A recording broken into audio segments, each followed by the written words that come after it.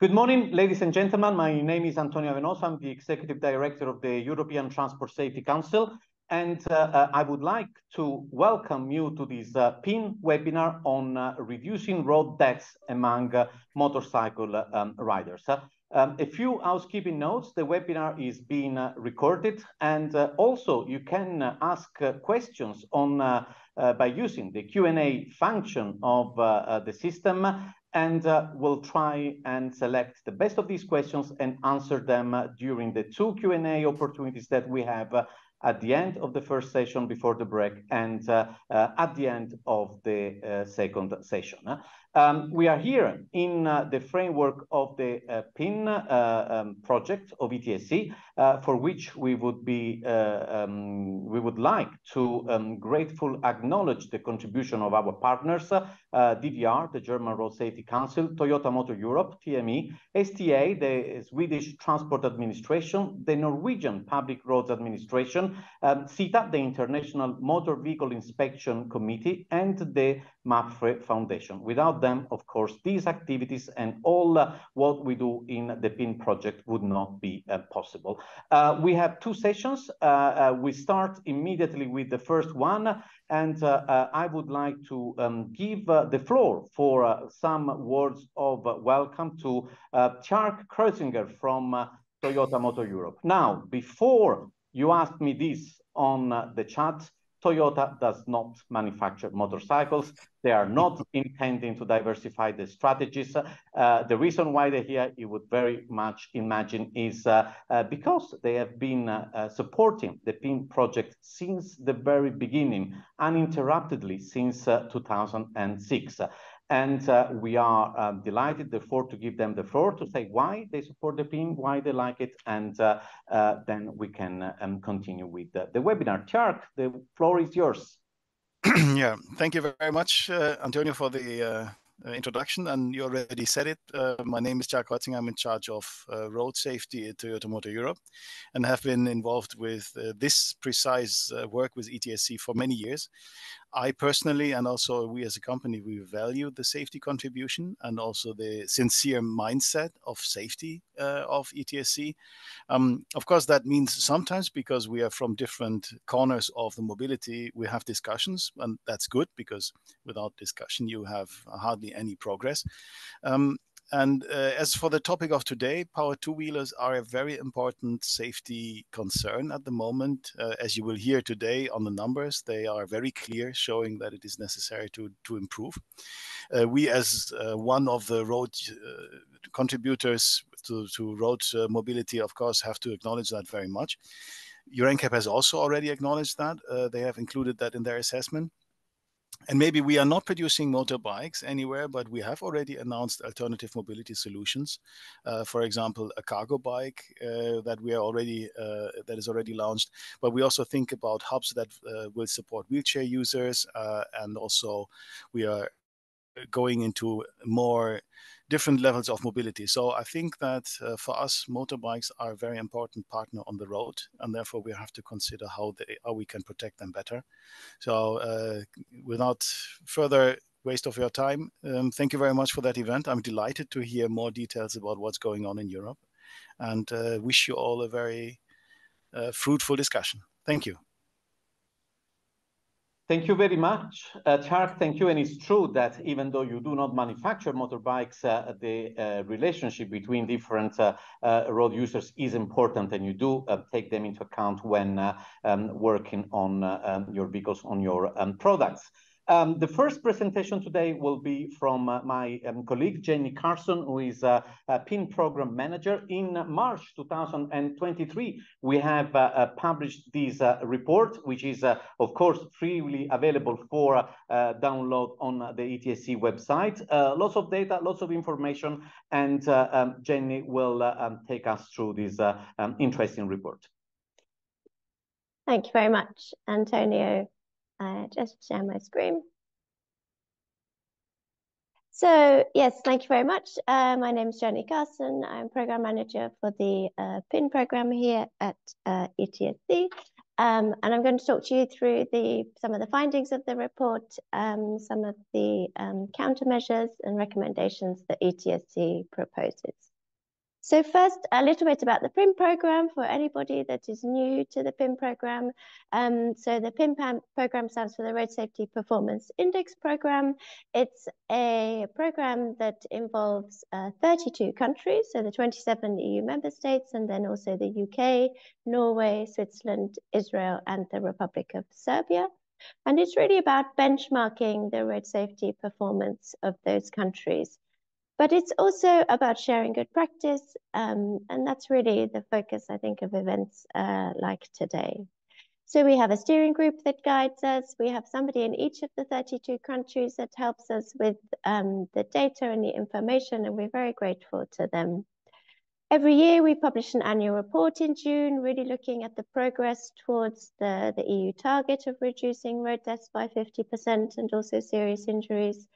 And um, throughout the year, we publish two thematic reports, such as the one that I'm going to talk to you today about um, the road safety of power two-wheelers. And we also hold uh, pin talks, such as this one. Antonio already mentioned it. You can see there at the bottom uh, the logos of the uh, sponsors of the program, and uh, we're very grateful to them for their support. So as Antonio mentioned, I'm going to talk to you today about a um, the report that we published in March uh, this year. So firstly, I think the scale of the problem, what did we find with the data? Over 45,000 power two-wheeler users were killed on European roads in the last 10 years. On the right there, you can see um, the graph to show the progress since 2011 um, in reducing those uh, road deaths. And we can see quite clearly that um, moped deaths have declined more quickly than motorcycle deaths and also um, other road deaths as well.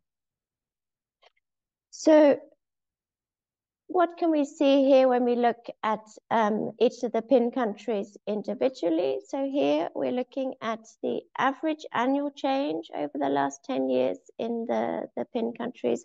And we can see here for motorcycles that on average uh, across the EU26, they've reduced by 2% uh, each year. When we turn to uh, mopeds, we can see a slightly larger reduction. So echoing a bit what we saw in that first uh, graph uh, at the beginning. So moped deaths have reduced uh, more quickly on average every year, so by 6%.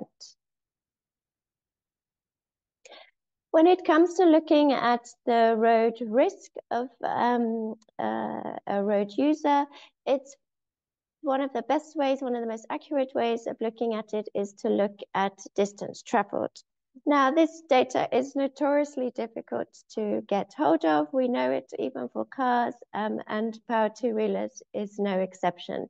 So we share here the data that we were able to find um, from the countries that were able to provide it. Sometimes it's um, all power two-wheelers, sometimes it's motorcycles, sometimes it's mopeds. But I think what we can see from this data is that um, the countries where that have overall higher levels of road safety also have um, the, the lowest uh, road risk. So I'm looking here at countries like Switzerland, the Netherlands, uh, Sweden. Um, so if you make your roads safe for, uh, for everyone, then they are also safer for uh, power two-wheelers. Next, I wanted to share some data that we gathered looking at the um, the age and the progress that has been made in terms of the age of the power two-wheeler users uh, killed on our roads. And here we can see um, the thick blue line is from uh, 2021 and the dotted line is from uh, 2011.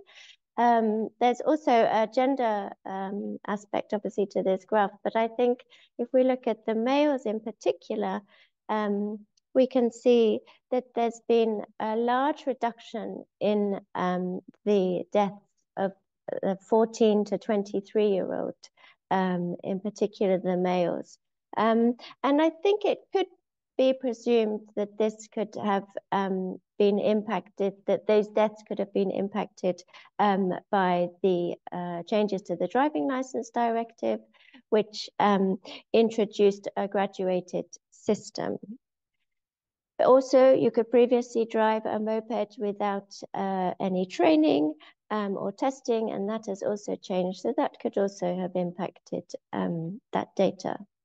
Something that is perhaps quite surprising from this graph is the fact that this rise in the, the number of what we term midlifers um, being killed on our roads. And I think that's uh, an important message for policymakers to to hear um, and to uh, to consider and how to address it. I think, yeah, the gender the, the gender aspect that you also saw on that uh, first slide is also very clearly um, seen on on this slide here that we have um, looking at the proportion of male and female riders and passengers killed um, riding a motorcycle. We can see here that uh, on average, uh, from the EU average, nine out of 10 power two-wheeler users killed are males. And power two-wheeler road deaths really is uh, a male problem. Why uh, is a is a question we ask. Exposure is obviously uh, a factor, but are there other factors um, playing here as well. We we don't have the answers, I don't think, um, but we just know that the the the male um, aspect is is clear. Here we can look at the same proportions of um, male and female riders and uh, passengers killed uh, on mopeds. It's a slightly different picture. There's a slightly higher proportion of females um, killed, but on the whole, um, again, it's it tends to be a male um, problem.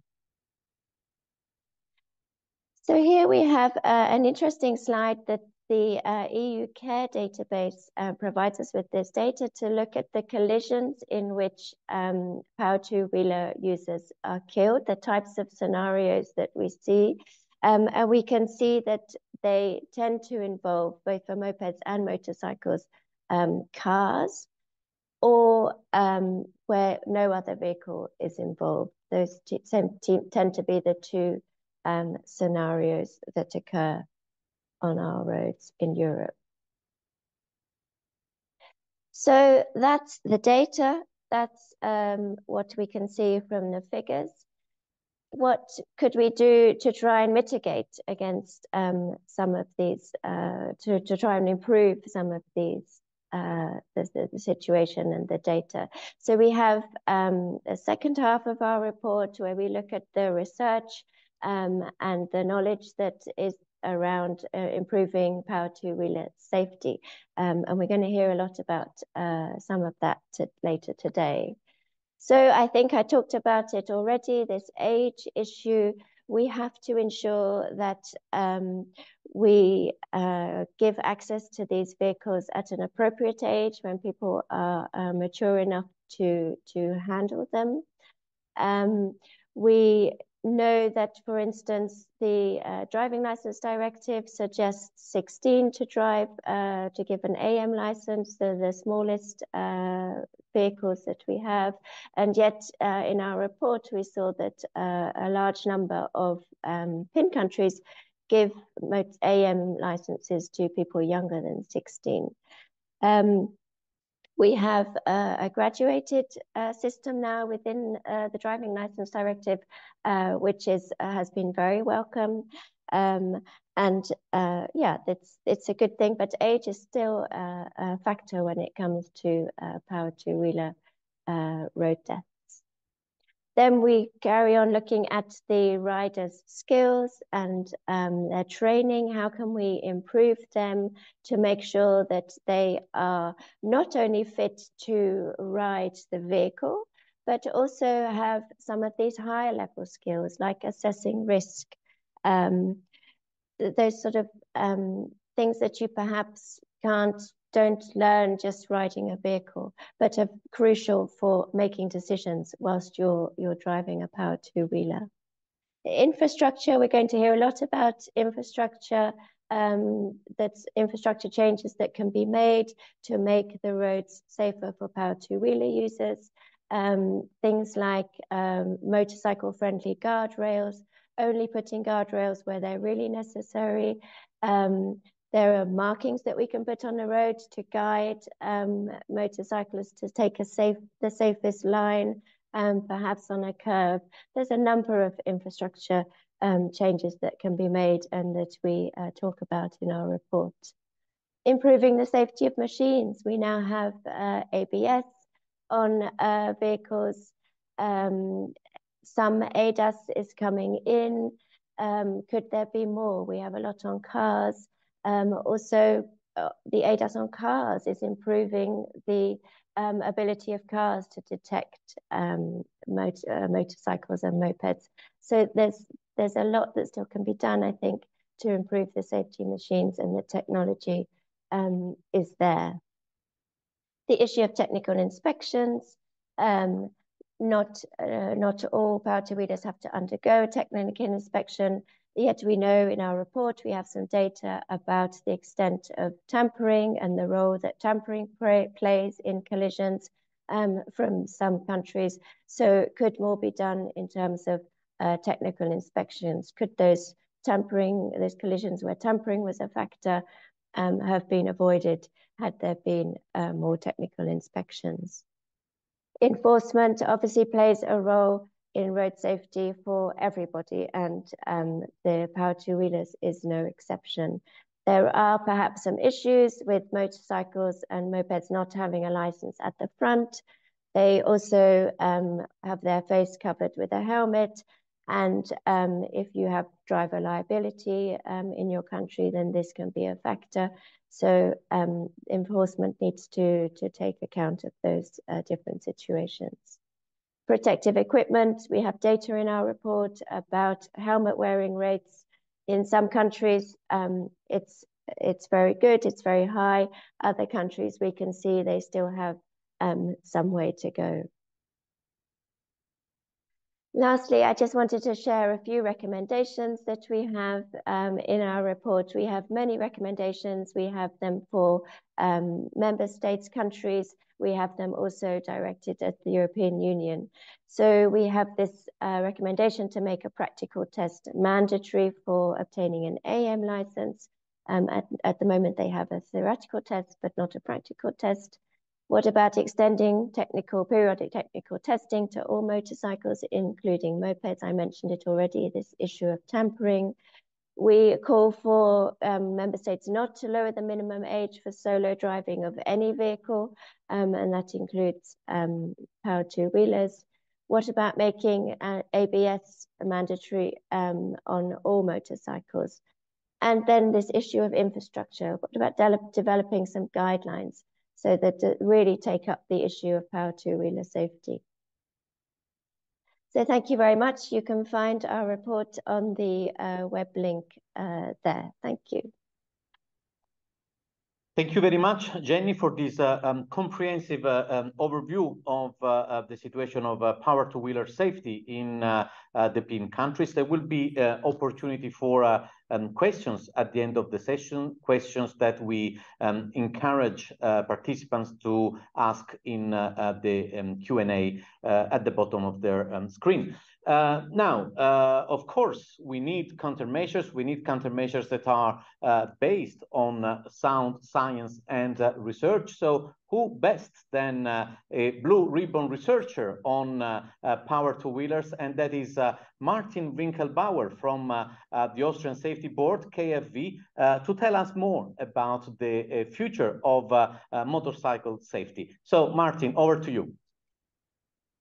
Oh, have many thanks for this very nice introduction. Uh, by the way, it's going to be a difficult task uh, since, you know, prognoses are difficult in particular if they concern the future.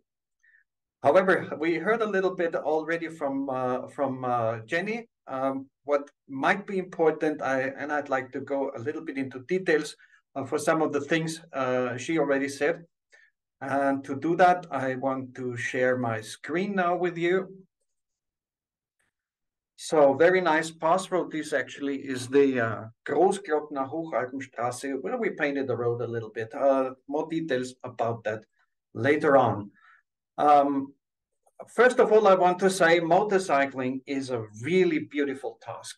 definitely you can do it for recreation, you can do it on weekends for holiday trips, and even after work for a short round for recreation. Uh, and I did that all as you can see in the photos, but it is also something else. It's for many people uh, an escape from urban congestion. And if I go uh, from A to B with a motorcycle, I do that because I don't want to get stuck in traffic. I don't want to look for a parking space for long. And I definitely don't want to pay for the parking space. Uh, not only that, you have cheaper operation uh, with motorcycles, so it's uh, cheaper uh, to operate. For instance, a scooter might be a little bit more expensive with one of the big motorcycles, but scooters are definitely cheaper to operate. They are more fuel efficient. I mean, my wife goes to, to work with a car uh, and takes eight and a half liters per hundred kilometers. If she does it with a with a 125 cc scooter, it's only two and a half liters. And uh, if the uh, swappable battery motorcycle consortium succeeds, we might have electric motorcycles with unlimited range, probably even earlier on the road than we have that with cars. So we have options here. Uh, however, um, we have to make that safe. And if we talk about safety, we always have to do talk about these two things uh, operating with uh, leisure and operating uh, the commuters. Um, now, what do we have in terms of options? We can do more research. We can legislate measures which we already know, and we can also implement them uh, if we have legislation or even without, uh, if they are useful for themselves. We couldn't do that at national level. And if we talk about international level here in Europe, it's mainly European level, of course. So um, we must not forget that we have to address different uh, uh, uh groups that means the riders, but also other road users. As we have already have heard, it is necessary that, for instance, uh, modern uh, driver assistance systems also recognize motorcycles. Um, the photo you see here, uh, the driver actually survived happily. It was the trainer of a road safety course when the bus came along and not one of his pupils. But I'm going to tell you more about that later on. Okay, if you want to do a safety work, you always have to know your target group. So what you see in this picture, and I hope you can see my mouse here in the early 90s, when you did something for motorcycle riders, it was quite easy. I mean, you had to address the group between 18 and 24. Very easy task. Then we did something about this group. We actually implemented graduated licensing in Austria, and that was quite successful, reducing deaths and injuries in the 18 to 19 group by 70 by 75%. That means to a quarter. And in the uh, next age group from 20 to 24, even by 50%.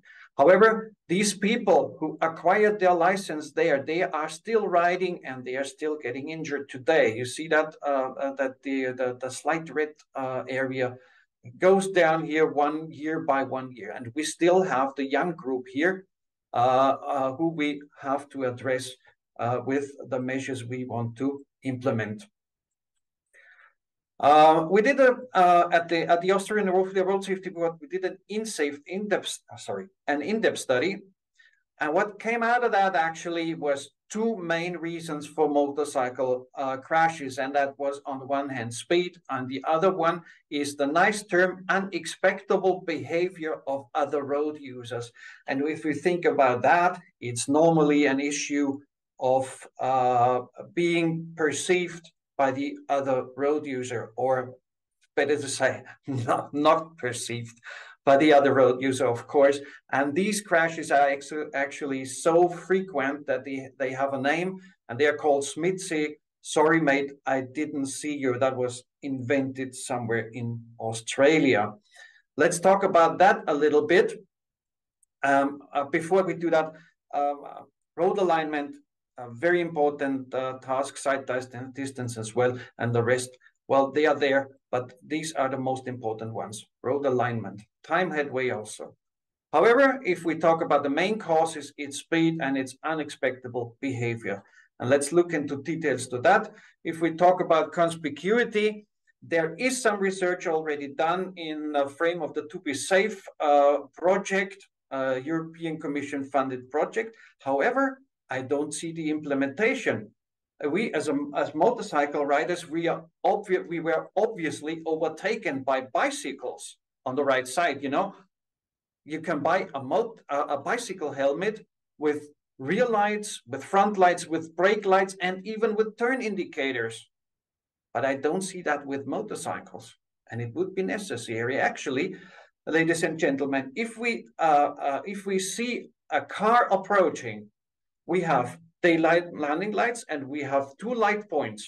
And if these light points go together, we know we know that uh, the um, uh, that, that the vehicle is getting further away. But if they the, the, the light spots are getting closer uh, uh, uh, away from each other, we know this vehicle is getting closer. We can't do that with one light point a motorcycle has.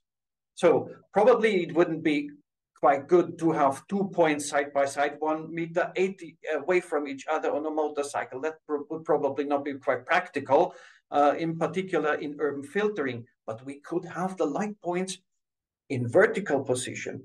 We could do more about it, but I don't see these vehicles on the road. Probably we need a little, little bit more research on that. We have proof that high visibility clothing is quite effective in uh, reducing crashes. Now let's talk a little bit about speed. I suppose that excessive speed is not really the problem with motorcycles. Uh, uh, speed gets dangerous if it turns into in being inappropriate for the situations.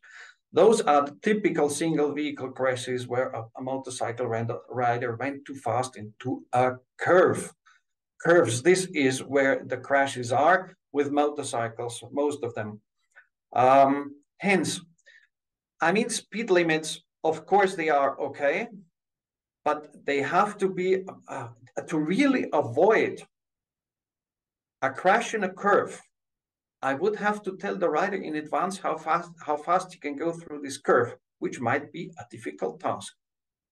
So, uh, um, if we talk about uh, enforcement, neither speed, man, uh, speed cams nor average speed enforcement really will do the job. Imagine that you have a 670 kilometer uh, uh, speed limit on a road where the first curve takes only 30 kilometers an hour.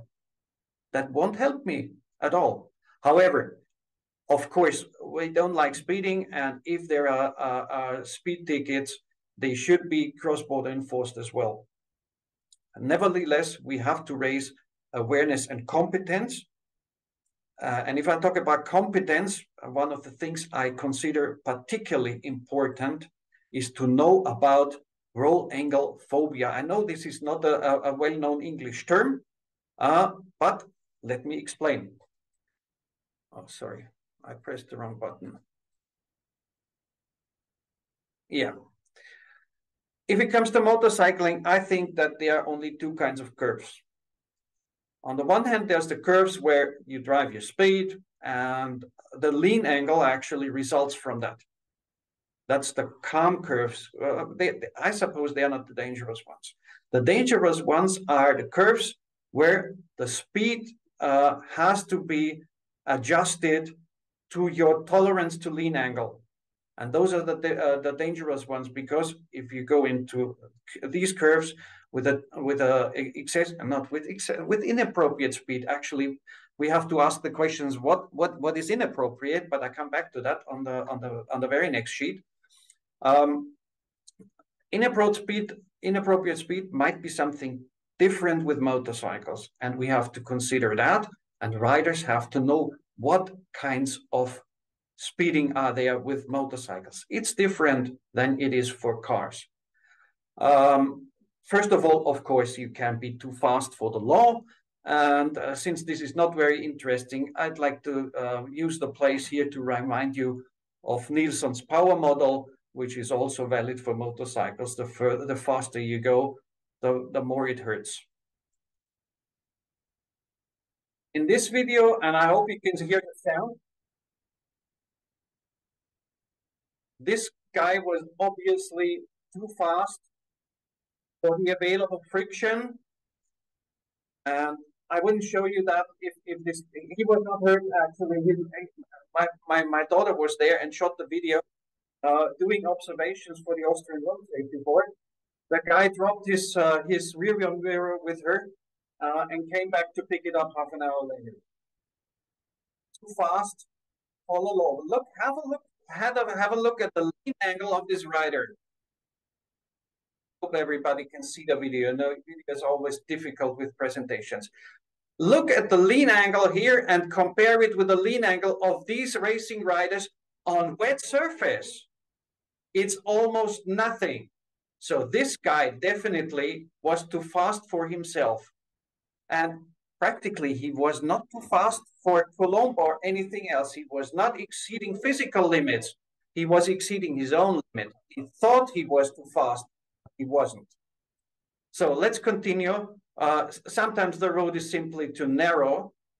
Uh, we shot this video actually when we did the, uh, the evaluation of our uh, full floor marking study. Yeah. Another case where definitely the person thought, I'm too fast. This person was not too fast. If he would have been too fast, he would have fallen, but he did not.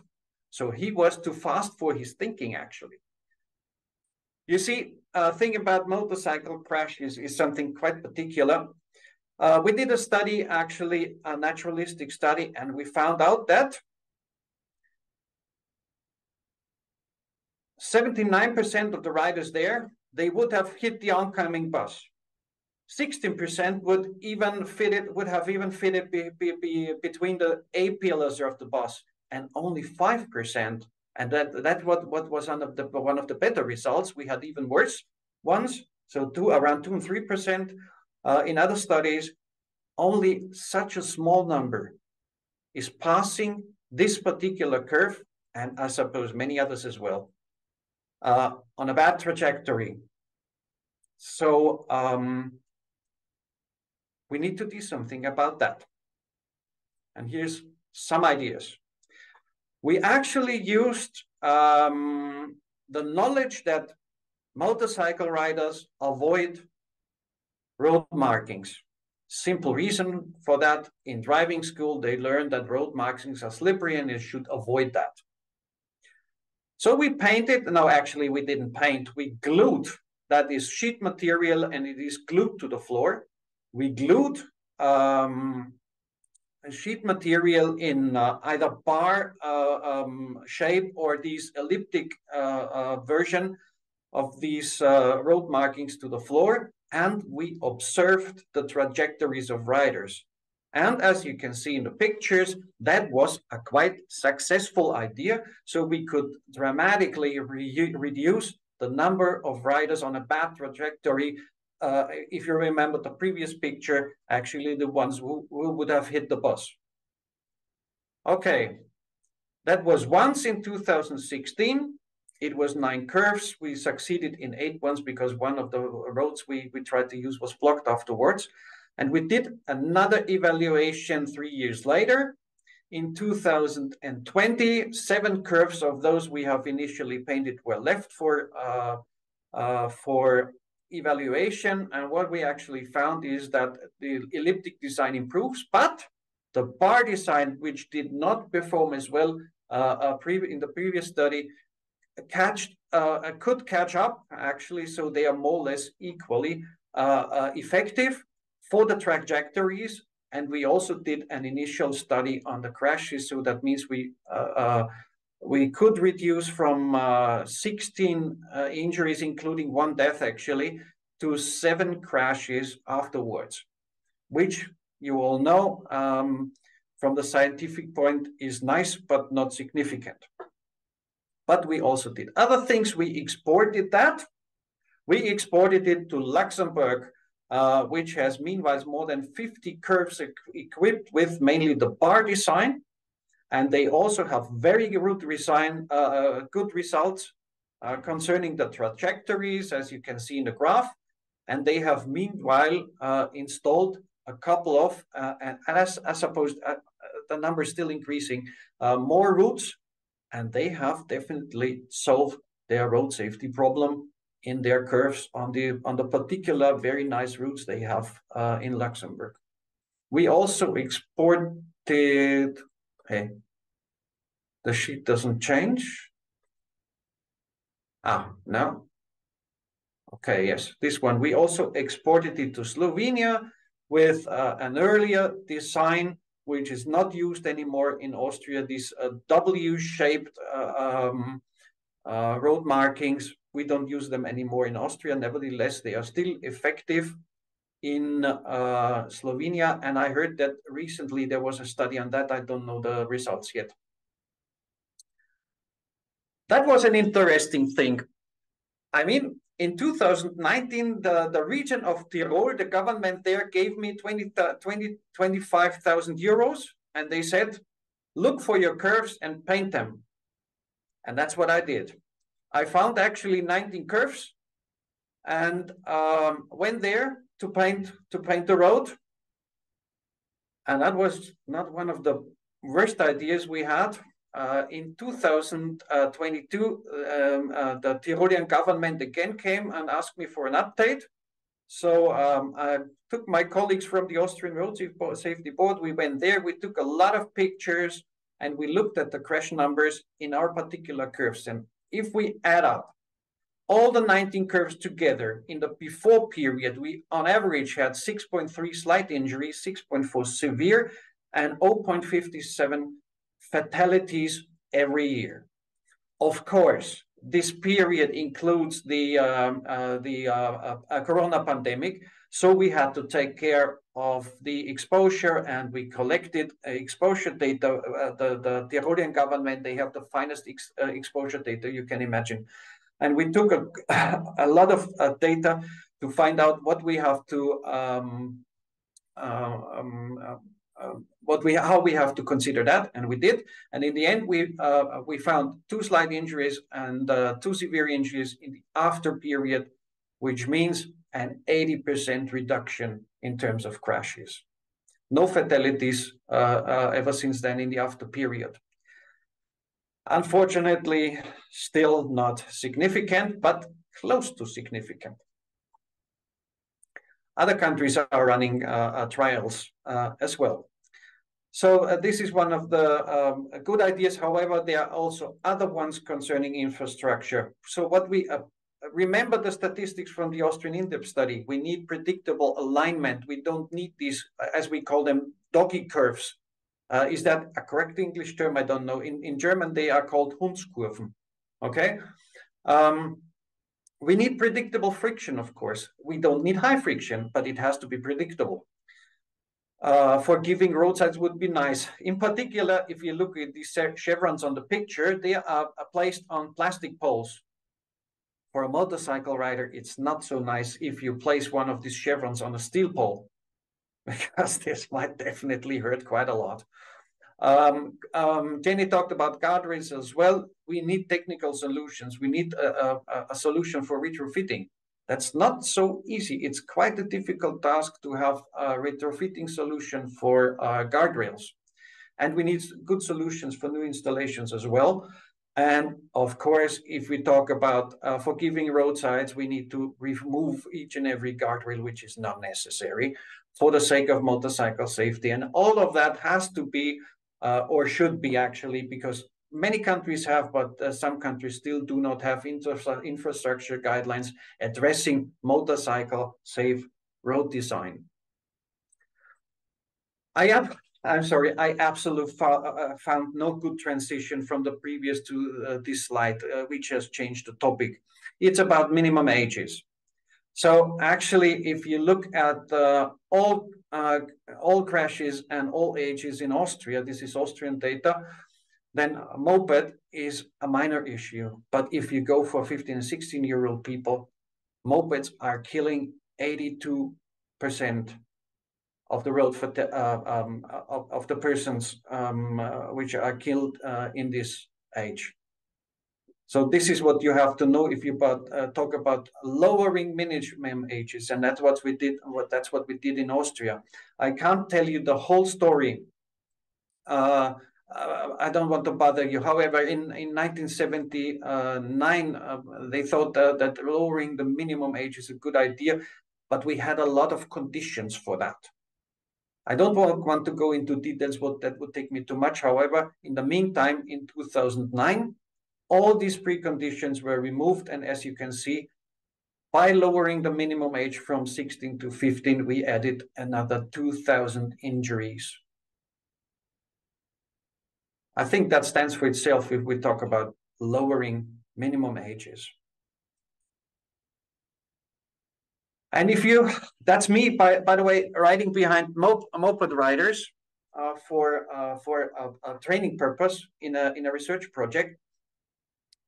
Um, and unhappily, this uh, this uh, um, picture is taken in the autumn season. If we if I would taken have taken one uh, from the uh, from the spring season, they would not have worn any uh, protective equipment. So what we actually did, um, what we actually did, was to put AM license holders into an A1 test. You have to know that in Austria, absolutely no test is uh, recommended is required to a, a practical test is required to acquire an AM license. Uh, A1 is the next and practically, I mean, if you have a tuned moped driving 80 or a 100, 125 cc driving at 80, it's more or less the same. Uh, in some in some cases, even the vehicles are the same, just with a different engine. In 2019, we did the first study. With, we put 85 subjects on a moped and we uh, um, applied an A1 test. 58% failed, where the normally prepared A1 candidates, they only failed by 2.5%. In 23, we uh, repeated that with two additional, uh, with one additional uh, session of uh, guided riding, and the result was even 66% failed. The main reason for that, I mean, in Austria, we have uh, two hours of practical training in traffic only for, uh, for a moped license required these young people, they have absolutely no clue how to correctly pass intersections. They have no clue about how to turn. And I mean, speeding, yes, they, they are speeding. They, they are absolutely not interested in 30 kilometer uh, zones uh, or uh, 30 kilometer limits.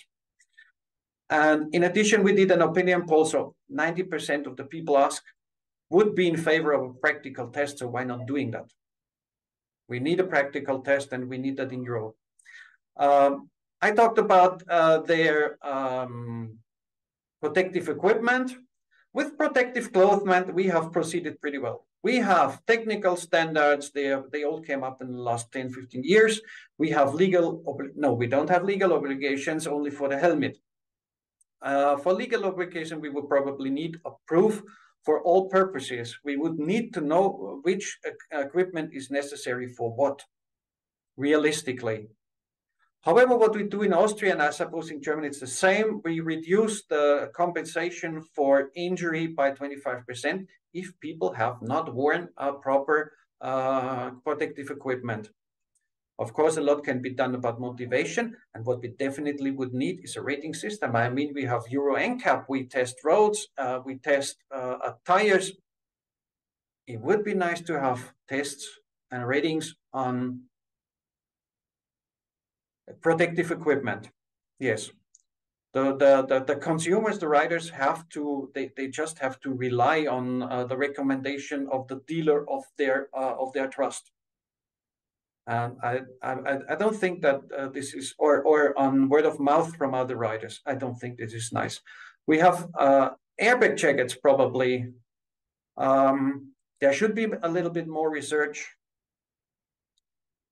because we don't have uh, too much. We have a little bit of technical standards. We don't very much about, we hardly know anything about effectiveness. There are only a couple studies. Uh, my friends, uh, uh, Victoria Gitelman and Shalom Hakkert from Technical Uni Technion University, they have started a study and we have something in the pipeline here asking riders for the experience with and without uh, airbag jackets. So this is going to be my work for the winter season um, uh, this year. Uh, in further, we will need to know uh, whether a legal obligation is uh, useful or not. For that, we would have to prove effectiveness, of course. However, we can still motivate, and we could have a rating system for that either. Helmets, we have uh, improved quite far uh, with helmets. We have a, legal obligation everywhere in Europe. Uh, we have these cases of reduced compensation in Austria and other countries. I heard about that. Um, the current problem is proper fastening. And addressing that, we need uh, motivation. And also with helmets, we still have no safety rating system. And it would be nice whether to know whether uh, an expensive helmet is also a safe one or a cheaper one is not a, is not a good one. Periodic technical inspection. I know it is well discussed. Just one sentence addressing this. I have power two wheels for 40 years in the meantime, and it's absolutely normal for me to take them to uh, to the uh, to the mechanic of my trust once a year to have them technically inspected. That's all I want to say. And this takes me already to the last sheet and probably one of the most interesting ones because this is more future uh, oriented than anything else. It's the, the electronic stuff, actually. I don't want to talk about ABS because someone else is going to do that uh, in the next uh, 20 minutes. ISA, quite interesting. We, uh, well, if I go through Switzerland, I always have my uh, speed advice on. My TomTom tells me when I'm too fast because I simply can't afford to pay uh, um, uh, to pay fines in Switzerland. We have that. It's possible already. Could be on each and every motorcycle. Uh, lane departure warning and adaptive cruise control. They're coming up for the more expensive. They're, they're currently being uh, implemented in the more expensive uh, sector of motorcycles. That could be in everyone. However, uh, probably adaptive cruise control is more a comfort than uh, a safety issue, although a safe distance to the vehicle in front always interesting. Um, I want to refer what I have recently seen in a demonstration of the connected uh, uh, motorcycle consortium, uh, which was held on um, in Germany at the Lausitzring a, a couple of uh, weeks ago. They have demonstrated they already can avoid a lot of different kinds of collisions. Um, this intersection movement assist is more or less that uh, motorcycles and cars talk to each other they tell each other where they are, where they're going, and they decide how to avoid a collision if in case it should be dangerous to collide. We have stationary vehicle warning. That means that cars and motorcycles talk to each other, and if a car is uh, blocked somewhere due to what reason ever, it warns other people hey take care i'm there i'm standing uh, and it's it, it's not uh, voluntary uh, I, I i'm broken down or something like that. So these are the things they already can. Electronic emergency brake light yes uh, cars talk to each other and tell each other that they are braking and the the cars behind already know. Um, so what is here we also have um, uh, individual systems in cars which realize that the, uh, uh, that the motorcycle is going to crash. Uh, and I'd like to finish my presentation now with the fact that this crash here, by the way, filtering in Austria is legal, and that's my motorcycle, and I almost lost my little finger uh, in, in this crash. But they have proof that they can avoid a crash like that. So that is real crash collection, and I suppose that there's also a lot in implementing these electronic systems. And that's my uh, that's that's my prognosis about the future of motorcycle safety. Thanks for listening. Thank you very much, Martin. Uh, uh, thanks for uh, uh this insightful presentation. You appealed to uh, many of our prejudices on uh, on with, with your slides, and actually, the last slide also um, answered one of the um, questions that had been uh, Uh, just asked on uh, uh, the um, Q&A. Uh, now, uh, without further ado, we move to Jessica Truong from Towards Zero Foundation. TFZ have been very active in Europe and in the rest of the world on promoting motorcycle um, ABS and uh, uh, we are uh, delighted to hear more about this campaign and these activities directly from Jessica. Thank you so much, Antonio, and good morning to everyone. I hope everyone's doing well. Um, I really appreciate this opportunity from ETSC to be able to share some of the work that we're doing at the Transport, uh, the Towards Zero Foundation on the topic of um, motorcycle ABS. So, so just checking everyone can see my slides. Uh, yes, we can. Fantastic. Excellent. So my name is Jessica, and I'm the Secretary General of the Towards Zero Foundation. And we've been uh, very interested in looking at ways to increase motorcyclist safety, as we know that they're extremely vulnerable, which I'm sure the previous two speakers have already covered off. And there are unfortunately few initiatives and solutions that can keep them safe at this point in time. But one of those very effective solutions that is available to us at the moment is motorcycle ABS. And at the Towards Zero Foundation, we've got a project called the Stop the Crash Partnership, where we've been promoting some of the most life saving crash avoidance technologies. Some of them are focused on passenger vehicles, and another one is motorcycle ABS, which is very much about increasing motorcyclist safety.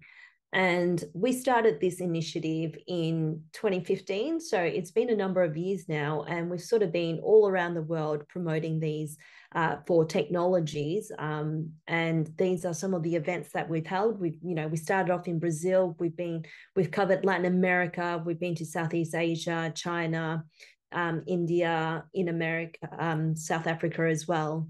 Um, but what we've realized is we need to really, if we want to sort of make a difference with motorcycle ABS, we sort of need to concentrate on the regions of the world where we're seeing a huge demand for motorcycle usage.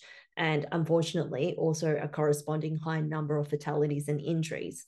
And the region that we selected for our focused motorcycle ABS initiative is the ASEAN region in Southeast Asia.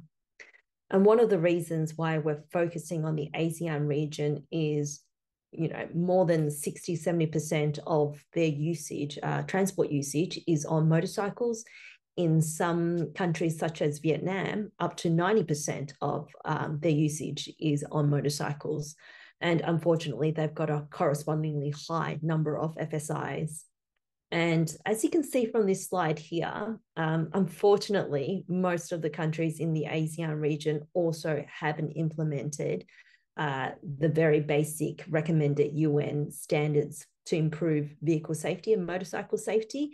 And in that very last column there, you can see there's a regulation for motorcycle ABS, and only Malaysia and Thailand out of the 10 ASEAN countries at this point in time have uh, regulated for this technology, and Thailand's regulation will actually start to come into play next year. Uh, now, this is a bit of an old slide, as you can see. It's from 2017, but I just wanted to use it to highlight some of the countries that have already implemented a motorcycle ABS legislation.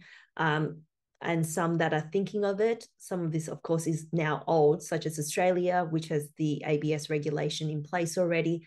But I wanted to highlight how many of these regulations are focusing on larger capacity motorcycles. Uh, you can see for the EU, you know, we've sort of um, mandated ABS for motorcycles that are of 125cc and above. And that's quite typical in a lot of the regulations that we're seeing around the world. It's generally for the larger capacity bikes. Um, but, you know, if we take a deeper look into the actual motorcycle usage in different regions, especially in Southeast Asia, most of the bikes being used are of a much lower capacity meaning even if we do put in place a motorcycle ABS regulation, it may not affect the vast majority of the bikes that are being used by the population. So when we first started this initiative a couple of years ago to focus on the ASEAN market to um, encourage them to adopt motorcycle ABS, we commissioned a report to actually look at the status of motorcycle safety in the ASEAN region, look at the penetration rate of motorcycle ABS, and also the types of bikes that the different countries are using. And some of the key findings from this status report was that small engine capacity bikes dominate the market in most of the ASEAN countries. And as of right now, very few of the motorcycles that are being sold into the region are actually equipped with ABS. And if they are equipped with ABS for sale, they're once again only available on the larger capacity motorcycles. Um, so, sort of highlighting what I said earlier, smaller engine capacity bikes make up 90% of the total number of motorcycles in uh, Malaysia, 80% in Thailand, and 90% in Indonesia.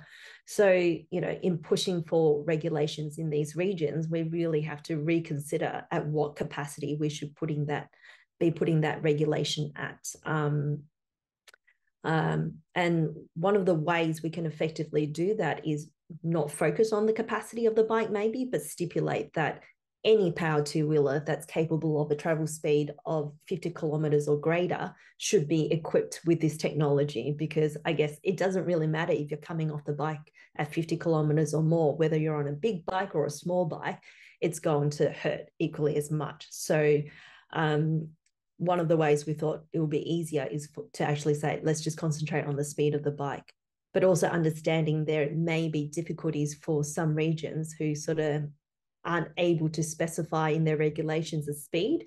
So an alternative is actually to actually specify the regulation for any um, for 50 cc or above, which would cover the majority of the market and ensure the lower capacity bikes also have this important technology. And one of the key findings that we found out of this status report was just by implementing motorcycle ABS in the region, we will be able to save lives of up to 8,000 motorcyclists every year. So that's a significant number of lives that we can save just by implementing and regulating for one technology. And that's one of the reasons why we're pushing so hard for the region to consider this technology as, um, as a mandatory feature as soon as possible. And fortunately, we've got lots of partners, um, including ETSC, both locally in ASEAN and also globally, that are very interested in helping push this mandate forward in the ASEAN region. And as a result of that, we decided to form a motorcycle ABS partnership. And the aim of the partnership is to increase the fitment rate of motorcycle ABS in the ASEAN region and to increase consumer demand on this life saving feature. And the second objective of this partnership is to encourage the region wide commitment to mandate for motorcycle ABS for any power two wheeler that is capable of a travel speed of 50 or more.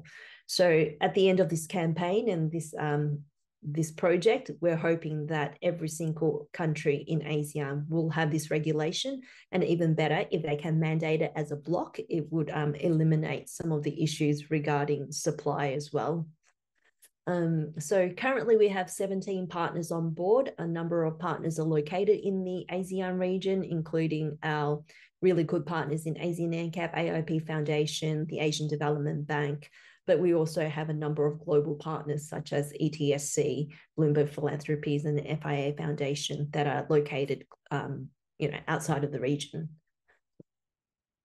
And you know, one of the aims of this campaign is of course, to secure the region wide mandate. And what we've been doing is we've been trying to hold live demonstrations in conjunction with um, ministerial events that are taking place in the region.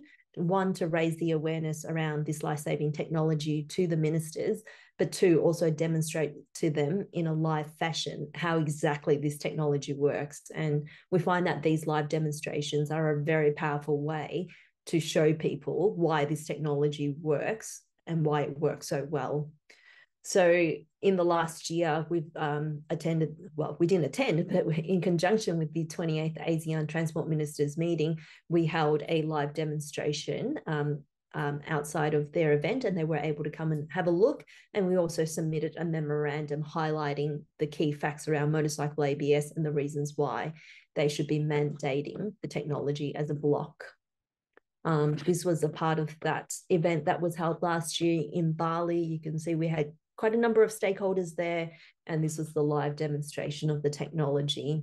Um, in conjunction with the ATM ministers meeting that's going to be held next year, we hope to run a similar event as well. Once again, we want to keep that uh, focus on the technology and keep it on the agenda until the time that it actually is in a part of the regulation. And this is the um, this is the endorsement that we're hoping to achieve from them, which is very similar to our campaign objective. Um, and lastly, one of the activities that we've got on is, of course, we want to raise awareness of the technology and we want to be able to run these advocacy campaigns.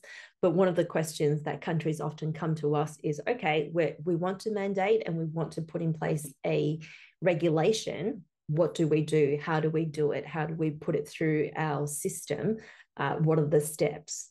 So understanding that countries are actually asking for technical uh, support in implementing this regulation, uh, we actually submitted a application to the UN Road Safety Fund to seek some funding to develop some technical recommendations and guidance for countries on how they can apply the UN regulation for motorcycle ABS. So the partners that are involved in this project include UNESCAP, the uh, regional UN body in the ASEAN region, UNECE, who develops all the technical regulations uh, on vehicles, the FIA Foundation, our local partner in Malaysia, MIROS, and of course, uh, there's ourselves. And we're hoping in the next year, this draft recommendation and guidance and roadmap will be available and we'll be able to share this with the uh, with the countries in the region and hopefully once again give them another push to implement this important regulation. So we've got a number of activities coming up in the next year, uh, all focus on the ASEAN region, and it's all um, around the same types of activities. And we're not letting up until we get the project outcomes that we're hoping for. So if there are any partners on this call that are interested in actually joining us on this campaign, please feel free to reach out. And the motorcycle ABS report is um, available on our website if you want to read through any of the details in terms of what's actually happening in the ASEAN region. So you're very um, welcome to that information. So, yeah, thank you for your time today. And I hope this gives you a glimpse of the work that we're trying to do. And if there's any support that you're able to lend us, we would help happily welcome them as well. So, thank you. Thank you, uh, Jessica. Actually, uh, uh, well, we have to know that Jessica was in the middle of uh, a board meeting of the organization, so uh, we are extremely uh, happy that uh, uh, you managed to post that and um, come and speak to us. Unfortunately, because of this very reason, she will not be able to stay on. But let me thank you once again and um, get a, a, round of applause from our virtual round of applause from all the people who are in this call. So thank you very much and do keep up the great work on um, ABS and um, your um, action. So thank you very much, Jessica. Uh, um, I uh, would now uh, like to have brought up at the same time Jenny and Martin. We have a Q&A um, session. Um, certainly, the safety of motorcycle users is um, having a lot of attention and a lot of interest from our participants. We have um, received quite a few questions, and I'm afraid we will not be able to answer all of them. we will certainly make a selection, and then we will aim to um, give uh, in one way or uh, uh, another an answer to those that will not be answered uh, live. I need to look at my mobile because this is the way Uh, I um, get them selected from uh, uh, my colleagues. So, well, the first one is actually Jenny. I'll ask it to you, and um, it's about the PIN report about power two wheelers. Of course, we saw the data and how different countries perform in uh, uh, improving uh, the safety of power two wheelers. something that is being asked is um, about some best practices from the different countries when it comes to improving to the safety of motorcycle users. So where should we look at if we want to have good practices? Thanks. So um, yeah, so we we dot within our report we dot some uh, stories of good practice stories um, from across the PIN countries, and it's really you know, some it's not one person that's really got it 100% correct. And it's obviously important to say that if you have high levels of overall road safety, then you tend to also have uh, high road safety for your power two-wheeler uh, users. But we have some examples in our report. So we have um, we have some examples from Switzerland. Switzerland has extremely high um, helmet wearing rates, which is something that can perhaps be looked to. How did they achieve that? Uh, we have examples from Austria. We just heard from Martin about the work they've been doing there um, in reducing uh, curves. Um, I learned about a project in Scotland yesterday, also um, a similar sort of project helping um, power two-wheelers take the safest um, line, let's say, in a corner. Um, so there's lots of lots of different aspects that can be uh, addressed, and uh, we have examples of them in our report. So take a look. Thank you very much. Uh, Martin, um, I have a question from uh, um, Henk Stipdonk. Uh, is uh, uh, one of the PIN co-chairs, so of course he gets fast-tracked when it comes to the questions. Uh, and it's about uh, crashes on straight road sections. You can have crashes, he says, resulting from, I'm learning a new word here, shimmying, a mechanical instability of the front wheel. Can you tell us more about that? Yeah, well, technically it's probably not that interesting. I mean, there are two kinds uh, of technical instability. It's the it, it's the high high speed uh, thing, and it's the the wobbling at lower speeds. However, uh, if you, I have I have just started uh, something to find out what actually the, the the crashes on straight roads are because we have that as the most frequent single uh, crash cause uh, in Austria as well. It's it's narrow margin uh, next to curves, but it's the most frequent one. And if you ask me, I think that most of the crashes on straight roads, they looming curves. It's just the output of a person with an oncoming car managing to avoid the oncoming car, then falling due to a lack of uh, um, uh, roll angle tolerance and dropping the bike actually on, on the next straight line. So I think that most reasons for um, for crashes on straight roads are the the curve behind you. Thank you uh, very much, Martin. I had seen a question to Jenny, which I'm looking for on my screen. There it is. Uh, um, so, uh, do we have any explanation for uh, the high number of women dying on motorcycles and mopeds in uh, Denmark and Norway? Tough question. Tough question. yeah, it's not, um, I should first say, it's not something we um, looked into, we delved into, but um, I think there's two points that can perhaps be made about um, those countries, maybe even three. So the numbers, first of all, the numbers are very small. They're not quite less than 10, but they really um, are very small. So that will um, play uh, a part, I should think, in, in the proportions. Also, we didn't look at the exposure data. Um, you know, maybe there are more female cyclists in those countries. I don't know. Um, they also are countries which have very uh, high levels of overall road safety. So that could also play uh, a role, I suppose, in the behavior of um, power two-wheeler riders and, and present those uh, very different um, proportions um, that we saw in the graph. Those, those would be my three points, but I, as I say, we didn't look into it directly, so I can't give a scientific explanation for it. Maybe a more general question to uh, to Martin. Actually, uh, we we saw in our report that uh, uh nine out of ten uh, uh, persons dying on um, power two wheeler collisions are male. So is it just a matter of exposure, or is there else some is there also something else that could uh, at least partially explain that? Well it's a bit of both i, I would say.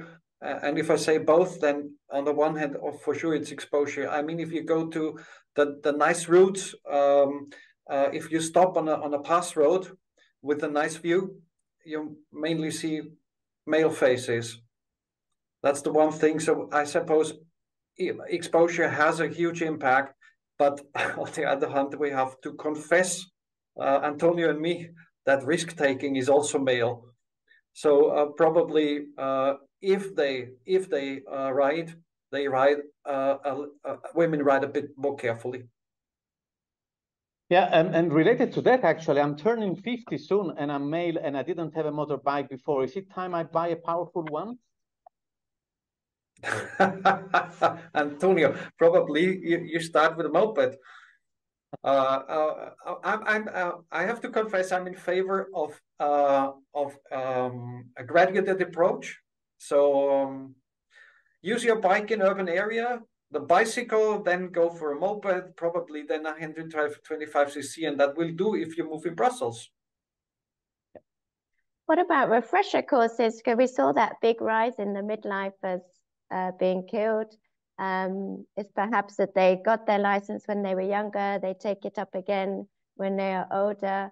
Um, is there a role for refresher courses? Maybe when people are buying the bigger bicycle, um, I think maybe there's a role there as well in in the in terms of training and the skills.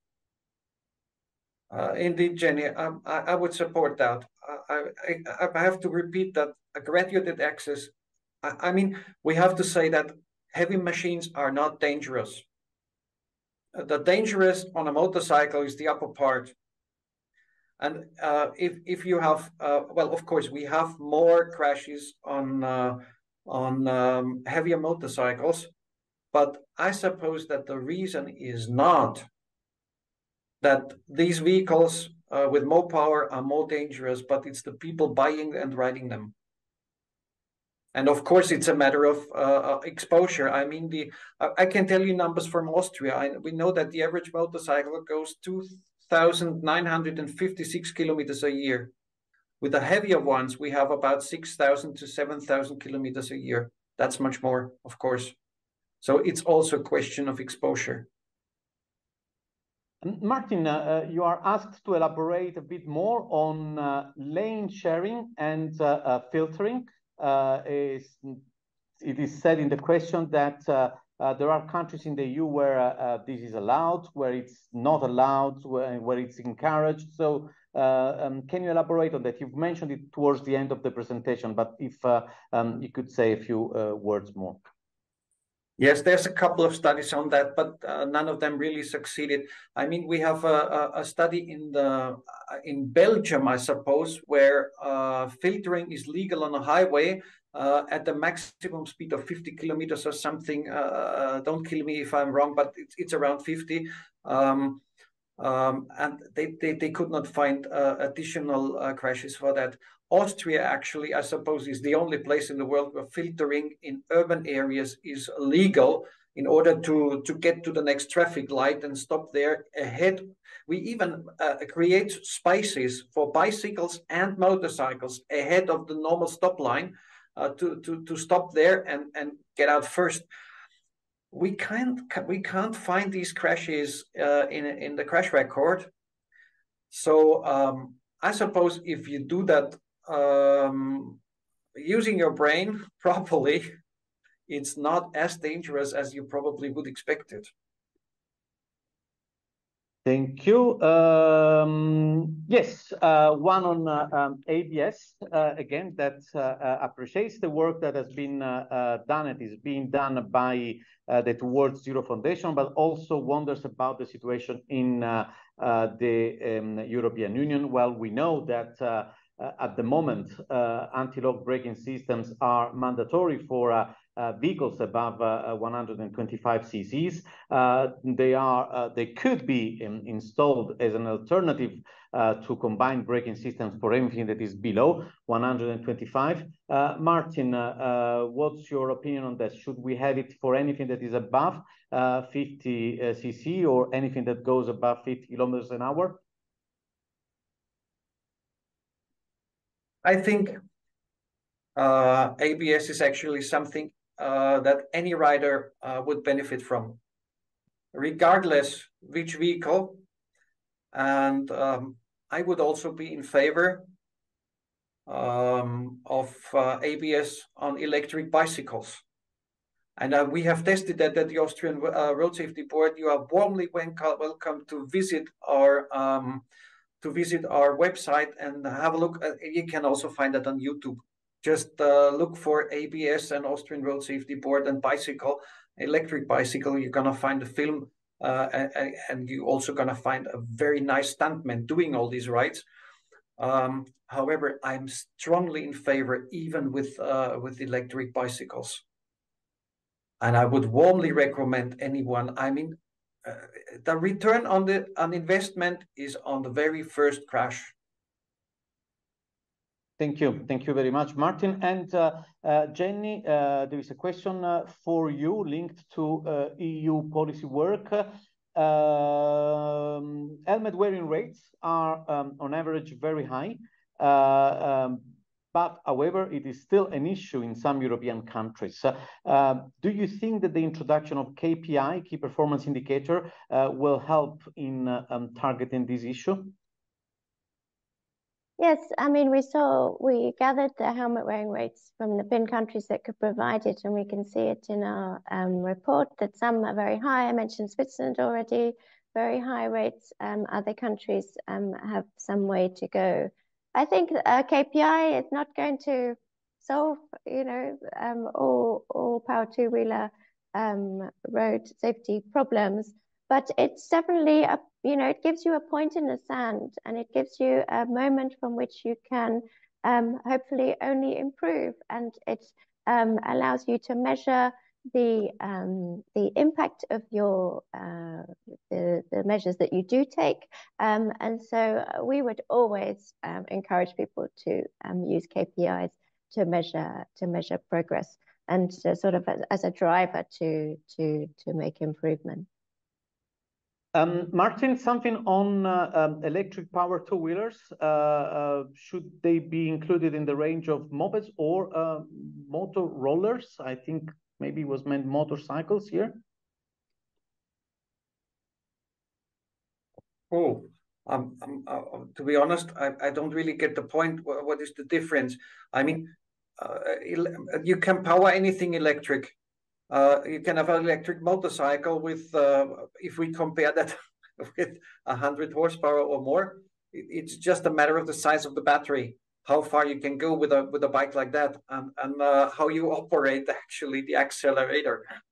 Uh, uh, nevertheless, I think what uh, this question probably is about is these electric scooters, these 25 kilometers an hour scooters which don't need a driving uh, license, which don't need a license plate either. Um, no need for helmets and all of that stuff. Well, we know that uh, this is uh, an upcoming problem, uh, an upcoming serious problem, and you, you find these people uh, everywhere on every road. Um, they are used uh, quite frequently for delivery purposes uh, for both food and non-food delivery. I think that our systems of um, of um, collecting accident data are not yet prepared for these kind of, for this kind of vehicles. So in Austria, we still have the problem that we do not have very much experience because we can't, can't identify. Well, in the meantime, we can identify them in the crash record, record, but we do we have no data to compare. So this is an upcoming problem we should have an eye on. Uh, and as soon as we have data, I could answer the question probably. Thank you. And the last question for you, uh, Martin, then we'll break. It's uh, mm. a bit more technical. Is there any research on uh, technologies like the ESP that uh, could adjust the speed according to the lean angle?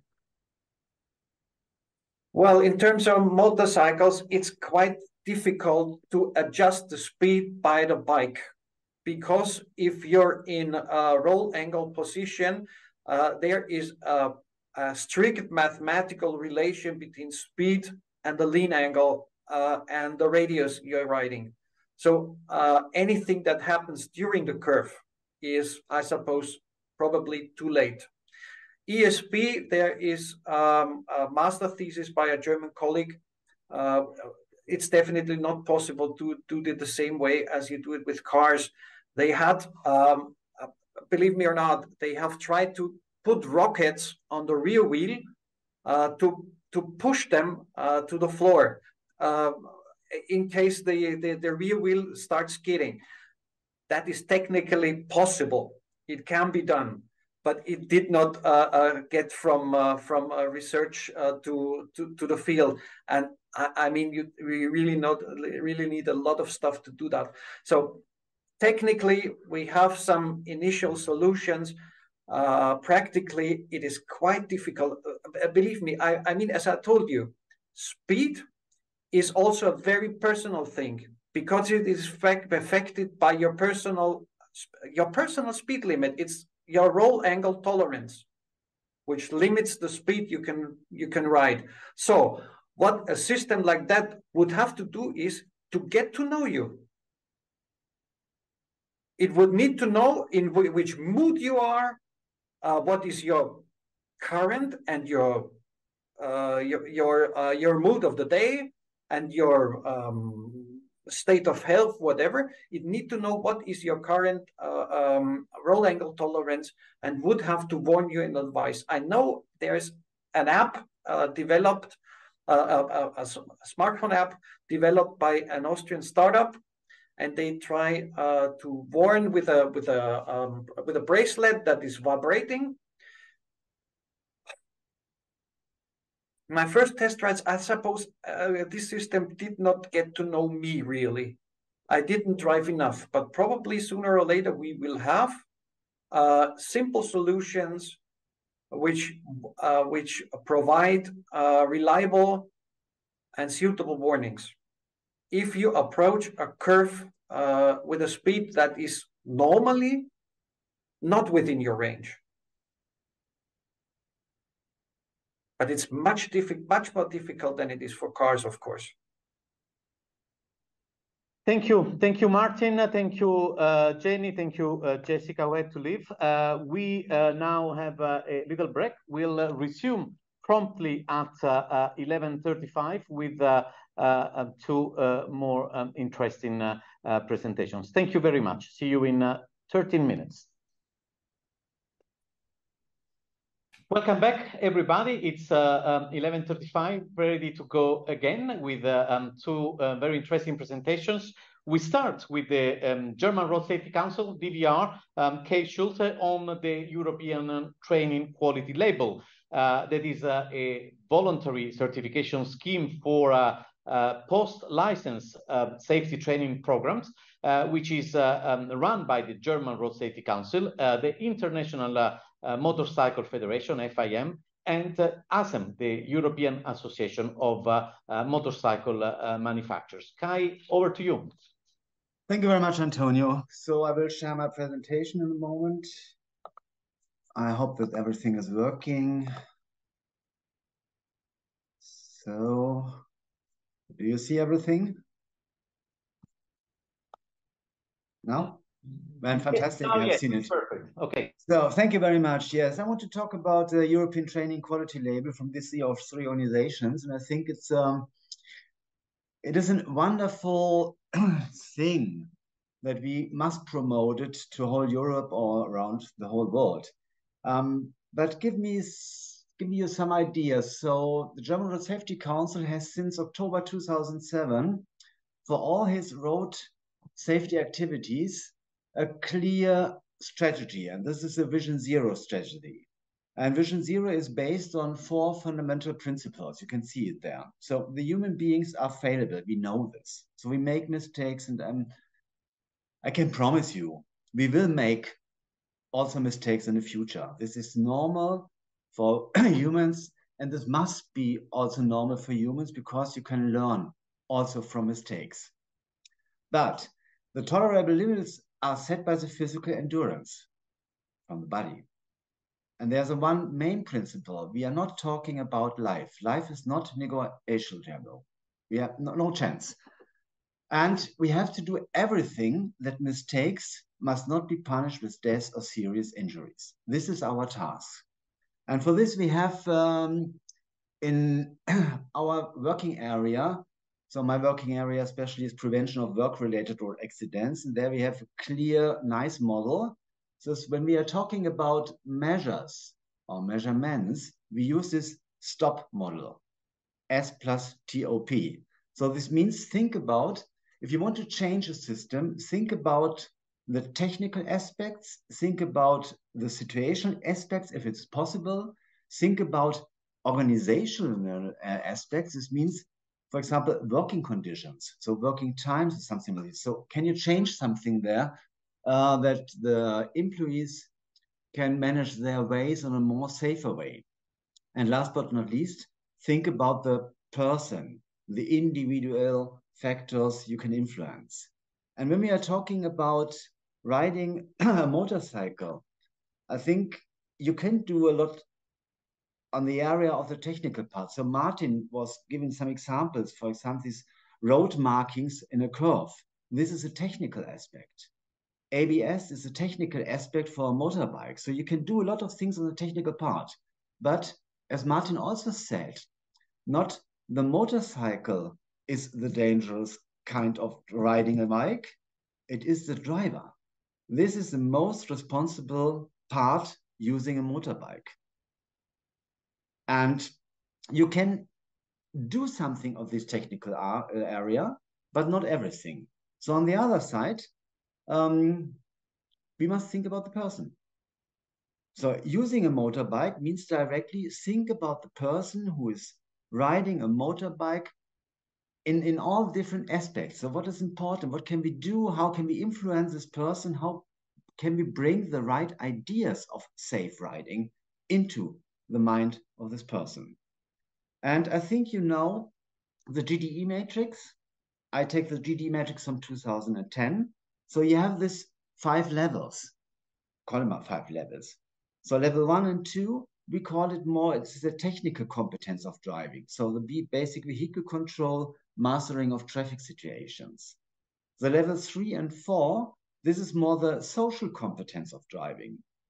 So driving motives, purposes, goals of life, attitudes, this is a social aspect. And then we have level five, since 2010, this cultural social background. is also influencing my kind of driving style, how to use a motorbike, how to think about traffic, what's happened there. And the Road Safety Council translated this matrix in the field of driver education. I don't know if you know the Road User Education Project. So there's a description for a curriculum how to use this matrix in the field of driver education. And I show you the other picture. This means it is more a circle model. So you have these five aspects and you have this person who is riding a motorbike in the traffic, for example. And you see these five aspects. Um, they are all influencing the situation in which you are. So it means driving a curve can be on, done by a very, very safe way. It can be done also in a very unsafe way. And I was thankful for the examples from Martin. He shows us some interesting videos. So what's happened there with driver not to use the right speed, the safe speed. So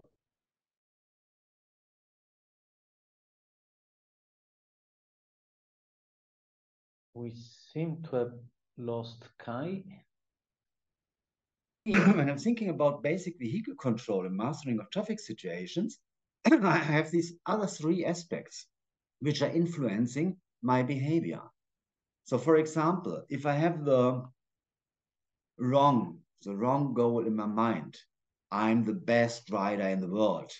I can manage every situation. Then it can be that on the way of basic vehicle control, I really will be too fast because I like speed up every time, or I'm very emotional. Um, I can give you another another example. For example, driving motives. If you uh, we are talking about young people, or for also this this class AM, so these mopeds, um, you have mostly three different driving styles uh, when I'm talking about young people. So in the morning when they're going to school, it can be that they are a little bit in a hurry, yeah, to be on the right time in school. Uh, on midday, they use their motorbike, for example, as a pizza, pizza taxi. So it's a completely different motivation. So they speed up to be very fast to earn money. And in the evening, they want to go to a nice rendezvous with a nice girl or something like this. Then I have a different motivation to, to ride this motorbike. And motives are very influencing a lot of behavior of people who are riding a motorbike. And the same is goals in life or attitudes. So if you have this mm, think in your mind, the glass is half full or the glass is half empty. It's completely different when you're thinking about the driving style. So sometimes when the glass is half empty, it can be very, very dangerous. When you're thinking glass half full, so mm, be smart, smooth. It's a nice, nice way of riding a bike. And then the last aspect is this culture background. And when we are talking about prevention, it must be very important to, to think what is the social or the culture background. So is there something in a understanding in a different way from, from other parts of, of the world than now in the middle of Europe? And the same can be on the other side. So if you be in a training area, for example, and you learn something about basic vehicle control to have more control with your motorbike in different speeds, it can change also your motives. Can change it or can say something, oh, I'm right, I'm very fantastic. I can use the brake in a very fantastic way. So everything is good. I have ABS, nothing can happen. Yeah? So it can change also the mind how to use a motorbike. So what does it mean for prevention and especially for this European training quality label. Now you have here one picture. It is more related to German traffic, how to use a motorbike. But I give you another example, and it was fantastic to give, to have some some some data from Asia. This is a totally different traffic. This is Bangkok. It's completely different, and you must come to know. So what's happened there? You see it on the closes. You see it on how how um, that there's no really an, an, um, an distance between the motorbikes is completely different. But you must have this idea. So what's what is behind there? What is the culture background?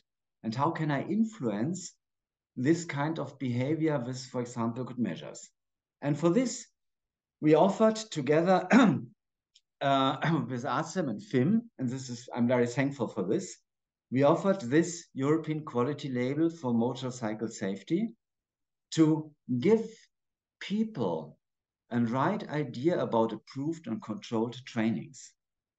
And I think this is very important to give users the possibility, okay, now I will join a training session which is really high quality, where I can learn a lot of new things to be very safe in traffic. So why we have done this? We know over whole Europe, there are a lot of very good high quality training training regimes. They're existing.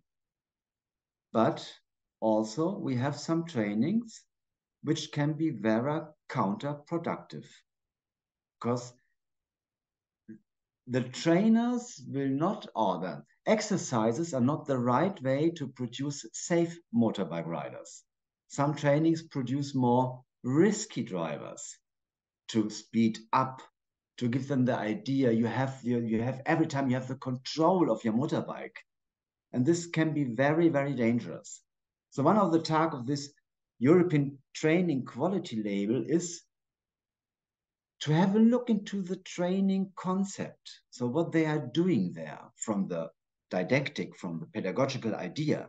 Is it the right way to talk about safe riding a motorbike or unsafe. This is one aspect. And the second aspect is what are the trainers doing in the training? So you can have a fantastic concept, but you have the wrong trainer for fantastic concept. So the trainer can destroy everything. Yeah? It's a personal thing. So we must have a look to this. So what, what have we done with this quality label? we said as we have some practical trainings directly only on a track-based area. But we have also trainings which will be offered on public roads. Very fantastic. on public roads with a motorbike, so you can get really good, safe ideas directly in the traffic.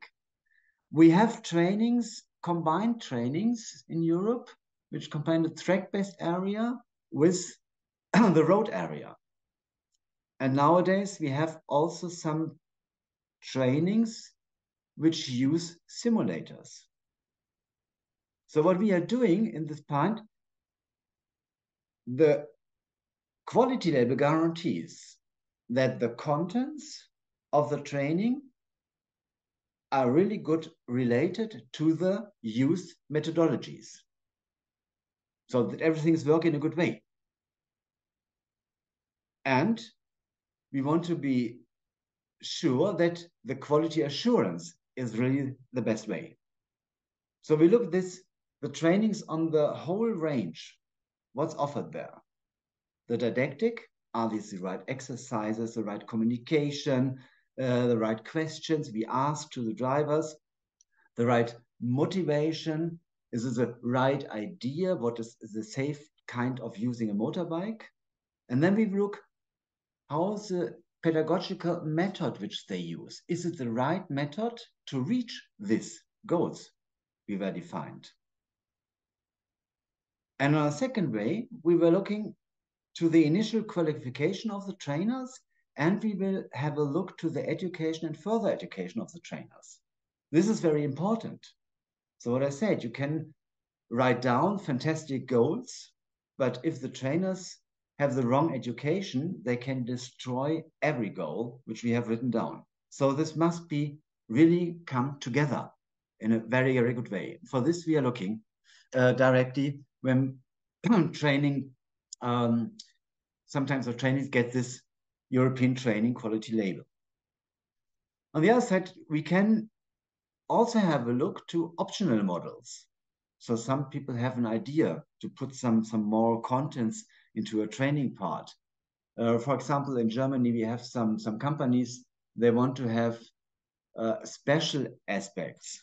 For example, um, to use motorbikes, electrical motorbikes in a very fantastic way to have more range or to use a motorbike, especially in the changing time between daytime and nighttime, because there are a lot of animals. So to think about directly of these situations. These are optional models, and you can put it also in the training so that we were looking, is everything good? And on the second part, we can also have a look to the training premises, uh, premise, premises, so the tracks, the tracks. What's happened there? Are the tracks are really good?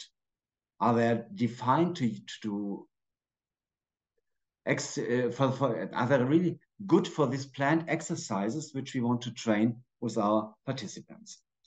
Last but not least, we can say this European training quality label is uh, under thinking about the vision zero means that this is a quality sign for a life without fatalities or serious injuries. And this message we want to give to all participants or to all users from motorbikes, think about your personal way of riding and we offer you good trainings who or which can reach these goals to get really good ideas how to save in a very or how to write in a very safe way.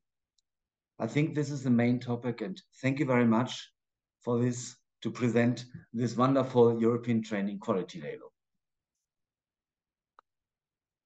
Thank you very much to you, um, Kai, for uh, uh, this presentation. Already I see some uh, um, questions emerging uh, following uh, uh, your slides, which will be addressed later during the um, Q&A question. Now, Jesper Christensen from FIM, the International Federation of Motorcycling. Of course, how could we do uh, motorcycle safety without the riders? So uh, that's uh, your opportunity now. The floor is yours.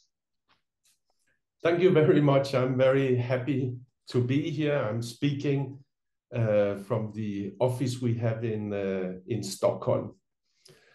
I'm just like Martin. I would like to start with saying that motorcycling is is extremely uh, enjoyable. What you see here is the former transport minister uh, from Sweden, which I had for a ride, and you can see she looks quite happy about being on the motorcycle. We can go to the next slide. So what I will speak about here is uh, some of the things you heard about already. Uh, it's about the, uh, I would call it the technological revolution in motorcycle safety coming from the Connected Motorcycle Consortium. I will uh, give you some feedback on uh, ABS, which we, we studied uh, and then, because it's close to Christmas, I would introduce you to the wish list from the motorcycle riders.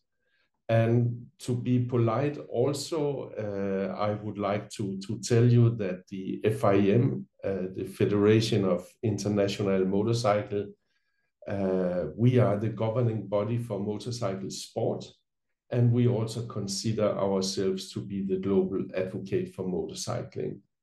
And within the FIM, I'm responsible director for uh, the uh, Commission of Mobility. So now uh, this is the base for, for what I will speak about. You already uh, saw and, and listened to, uh, to uh, Martin, who was, I, I could hear between the line, quite impressed about uh, what will happen within technology. So the important part to know is that basically all motorcycle manufacturers and so even the car industry uh, are working together to bring the new technology and make it compatible so it will work uh, the, in, in the whole flow uh, of vehicles out on the streets.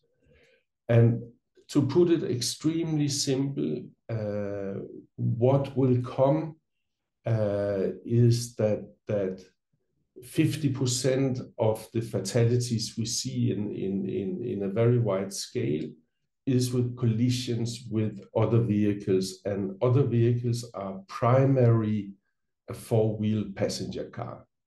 So we will be able to avoid a number of all these accidents. So this is looking extremely promising. Then you may say that we know in, in even in some of the European countries, we are having uh, up to 70, 75% of the motorcycles on the streets are more than 10 years old. However, there will be options released which can be retrofitted for, I'm very sure, a reasonable price. So our opinion is that what is being created now is a product which are so sexy and attractive that the motorcycle riders or the users will say, I would like to have such one because it is a good feature for me being a person. And I think this is what we have to learn within uh, road safety is we have to make products that are so good that the users are asking for them.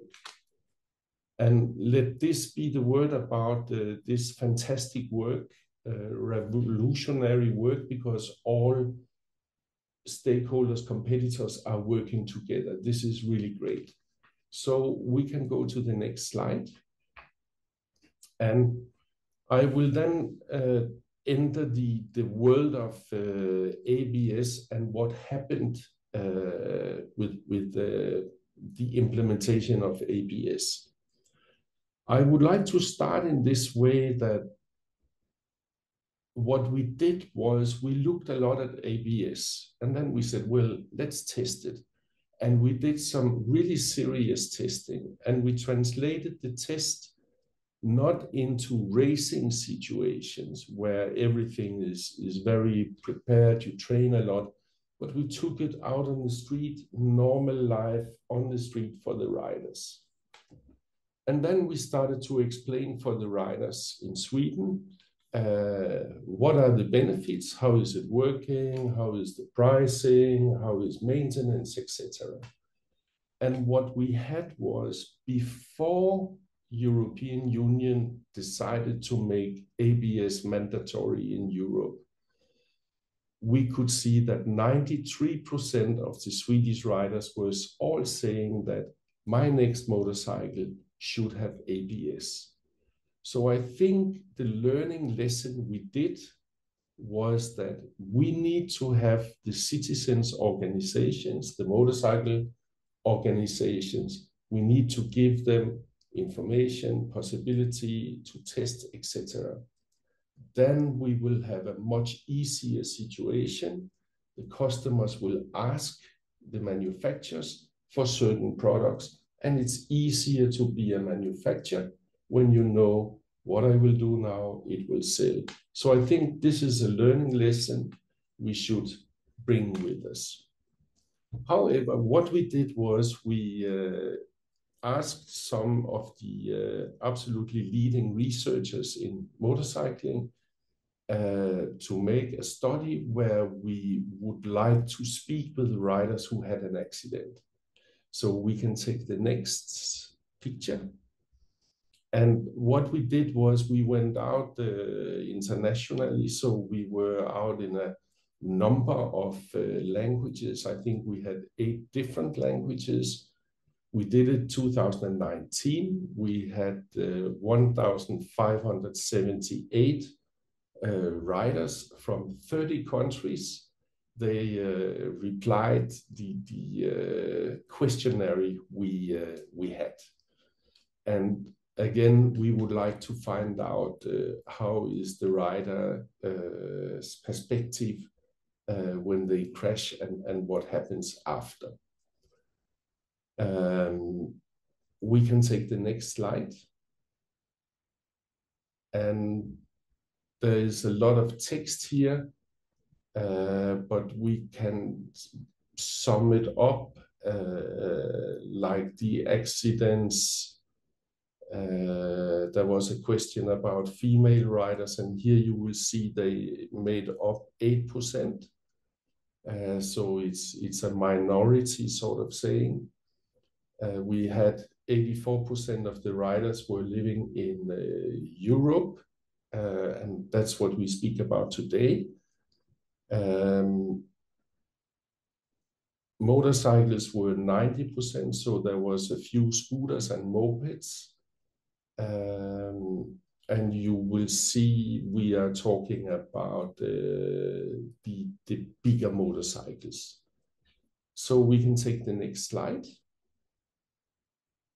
And this is uh, stipulating a little also what we saw uh, earlier today when we asked about speed, uh, that motorcycle accidents, you often think that they are happening in, in, in quite high speed.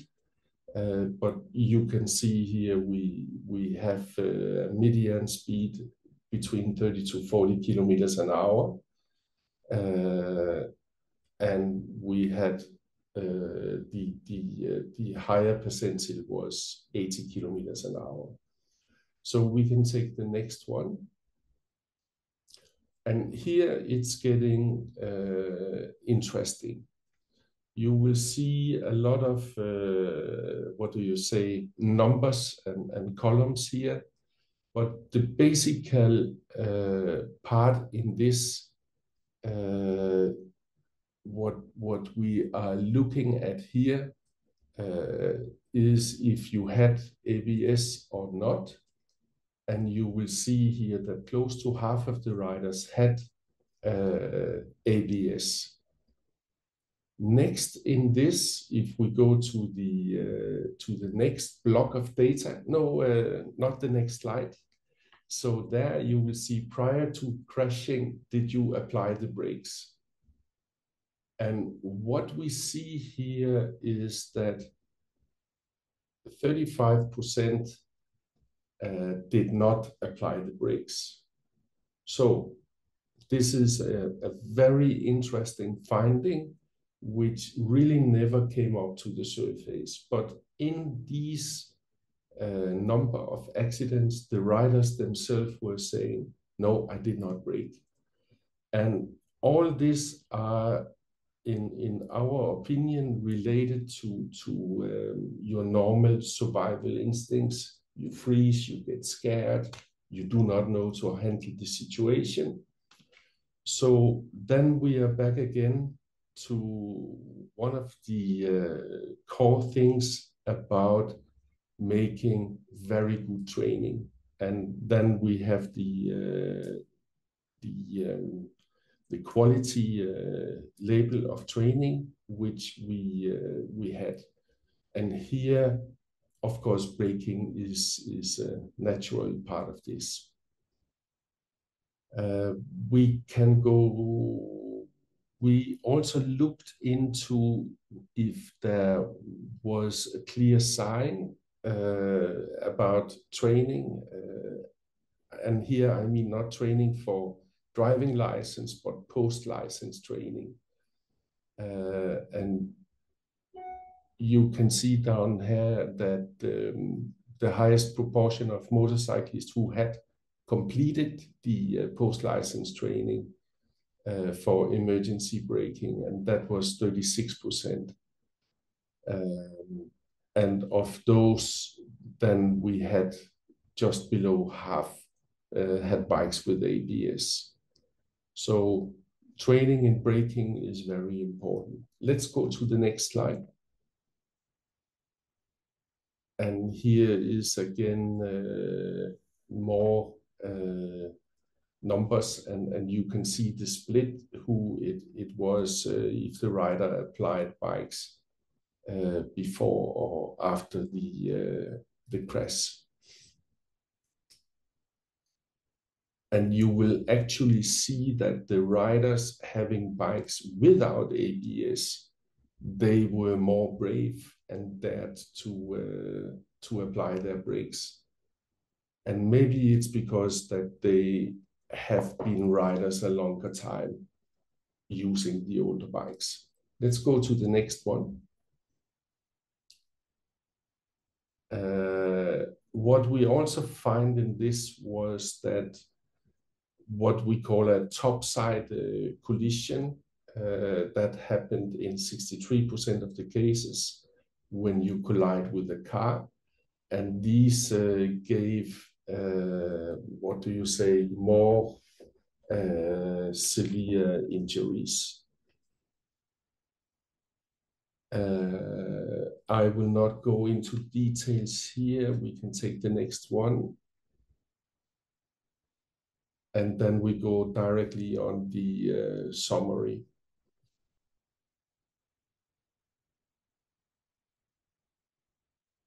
At the time when we uh, were asking, uh, you could see again here that just about one third had the uh, ABS systems and only 12% had traction control. I think today is basically all motorcycles, uh, including in the ABS system, have the traction control.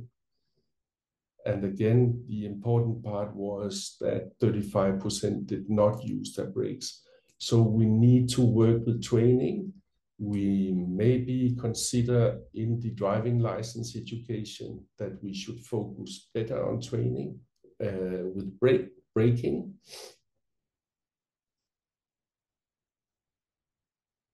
Um, and the other part which are interesting also is that um, that 65% of the riders uh, that went to hospital were traveling under 70 kilometers an hour.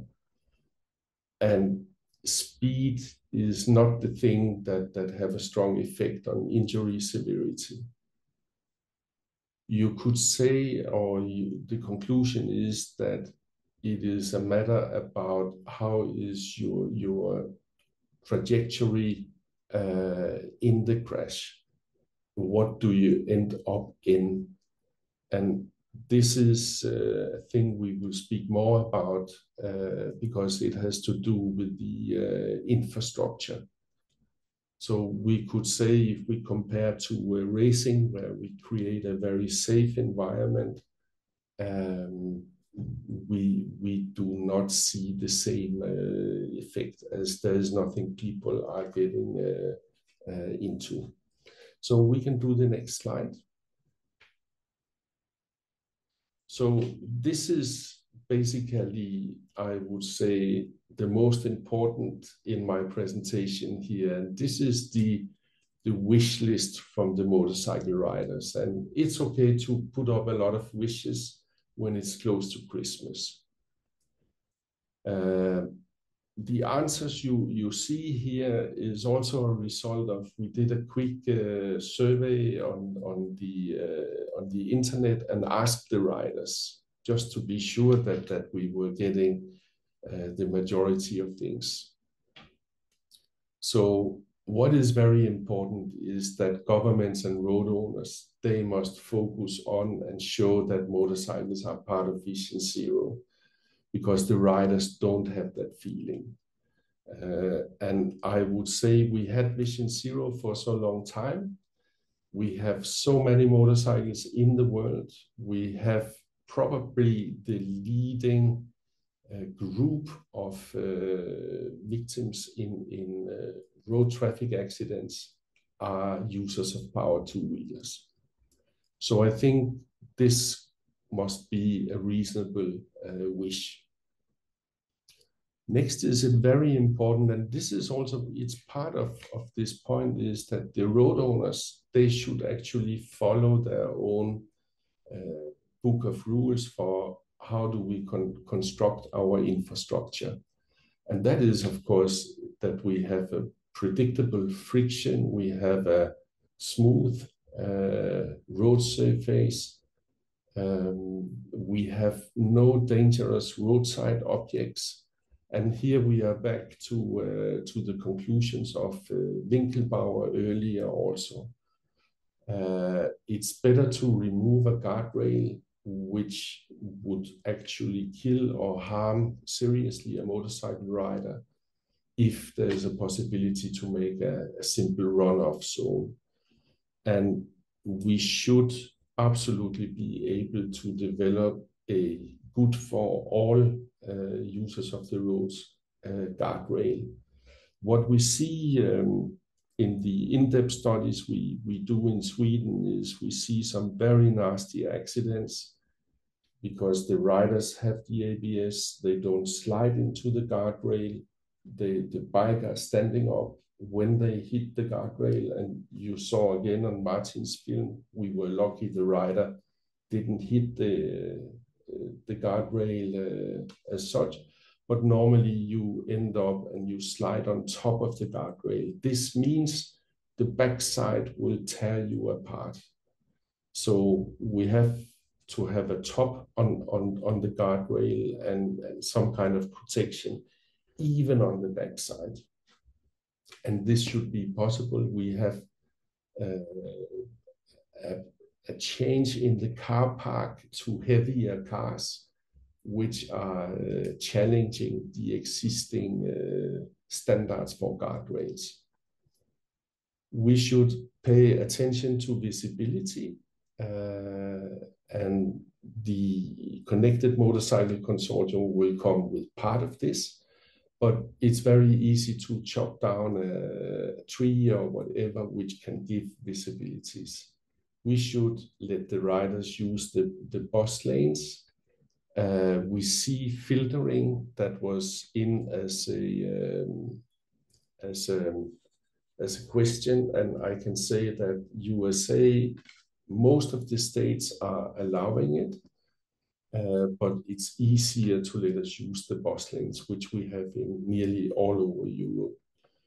And if we have better parking facilities, we can reduce uh, theft and, and uh, hereby we can have decent riders uh, out. The driving license is a, is a good question. We agree that education and good education is a must. It must be based on risk and accident focus. Uh, and we also think that all types of drivers, uh, riders should learn about other vehicles too. However, we should not make it too complicated because then it's getting too expensive. And unfortunately, we then will have a group of people who want to be in the traffic, but they don't follow the rules. What we see in Norway, we see it in Sweden when we start to analyze in depth, is that one third on average of fatalities are having no valid license to ride a motorcycle. This group likes or are frequent uh, intoxicated of drugs and alcohols. They don't follow any rules. They go far too fast. And this is a huge problem. So we could reduce uh, motorcycle fatalities with one third if we could take these away, at least in these two countries. So I, I really recommend we start to look into this in other countries too. Um, and, and because there will be so big gains in this.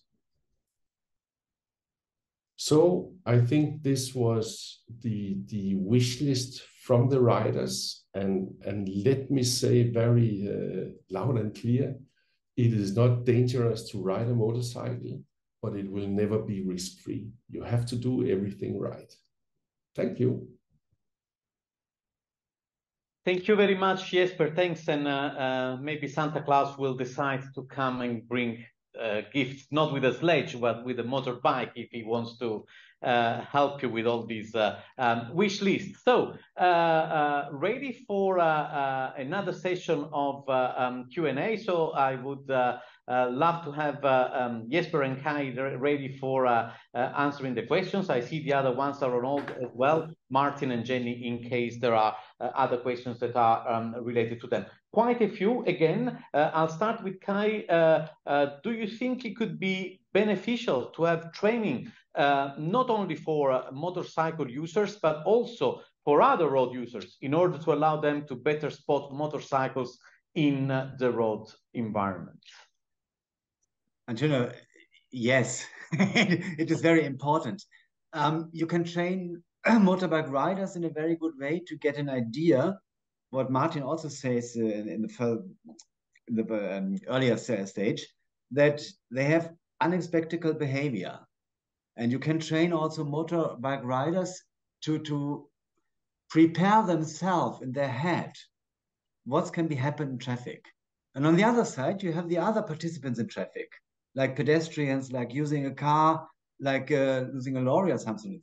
And to train them to get in really good view to motorcycle, to motorbike riders. This would be very, very important.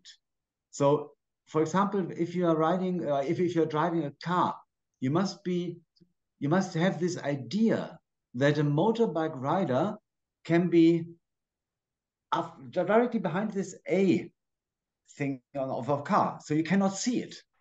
So you must train them to watch really directly what's happened there. Yeah, especially when you're countryside roads and you want to turn left, for example. And from my side, this is very, very important. But this should also include it in the normal driver education to get driver license. And it would be fantastic to make a second part of education to get more ideas. So like uh, Austria with second phase, for example. Thank you, Kai. I see uh, Martin is raising his hand and uh, we have to give him the floor. Uh, thanks a lot. We could start with the easy things, actually. Car drivers use your turn indicators. We take care of ourselves in case we know what you want. Well, well, that's very easy and quite effective. That's all. Thanks. Martin, I have another question here on uh, uh the Q&A box. Uh, uh, what do you think about safety training during driving license training? And it should be at the highest level of the GDE. Um, the problem is how to include these safety questions into the driver license test so that driving schools devote more resources to uh, safety training. Um, well, Kai, Jesper, both of you. Uh, so, from my opinion, this is this very interesting question. Uh, I prefer that you have this basic driver education in driving school, but in a driving school, you must have this hazard perception education.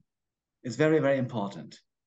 Um, but the safety training, I would make it after getting the driver license so that you have some experience riding a motorbike.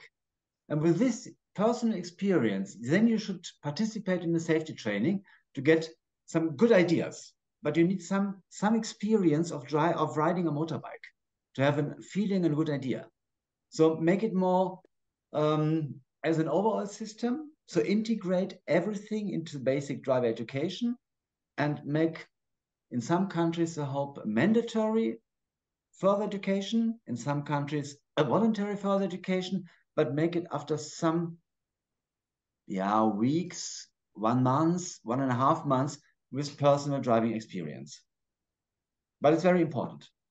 I, I could agree with uh, with Kai because what we have to understand is if you drive a car and you come into a curve and you you are too fast, what you do is you simply turn your steering wheel a bit more. You will hear your your wheels saying wee, and then you uh, you fixed it. That's most likely how it will. If you come on a motorcycle, according to your skills, uh, you would, if you were a fully trained rider, you would have to do 23 uh, exactly movements from, from gear, clutch, body position, view, etc. So there's a lot to learn. We have to accept and understand this is the physics of a motorcycle. And all this you won't learn directly in the driver's education because you will be overloaded. It's more important to work with the level you take your risk on. So you, this is important to understand. So if you look at the most, the best success we have seen recent in road safety for motorcycles these are the, uh, I would call it the dots on the road or the lines of uh, Winkelbauer. And basically what they are doing is that they are teaching uh, how to negotiate with a, with a turn. There is a turn point, there is an uh, apex and an exit. And this is painted on the road, so if it, it's like a self-instruction manual. And, and this is what the rider have to learn, or we have to accept that we have to teach them also how to read the road. Thank you, Jesper. Before we move on to the next uh, uh, question, I actually have also a comment on uh, uh the Q&A box uh, that comes from uh, Veneta Vasileva at ACEM, and it touches upon different elements which I would like to mention. So first and foremost, congratulations on the webinar that shows once more uh, the importance of the adoption of a safe system approach towards uh, motorcycling, addressing human, vehicle, and infrastructure factors. Indeed, that's what uh, we saw. Then uh, um, some words about the importance of the Connected Motorcycle Consortium that is uh, an ex ex excellent example of the efforts to ensure that motorcycling will be part of the future um, connected world. And I think this is something we saw already in uh, uh, the presentation uh, by Martin. And uh, um, of course, also uh, a mention on uh, um, training. Uh, we we said that um, ACEM uh, is a part of the um, um, quality training label. Um, ACEM believes the high quality training is essential for improved riders' performance.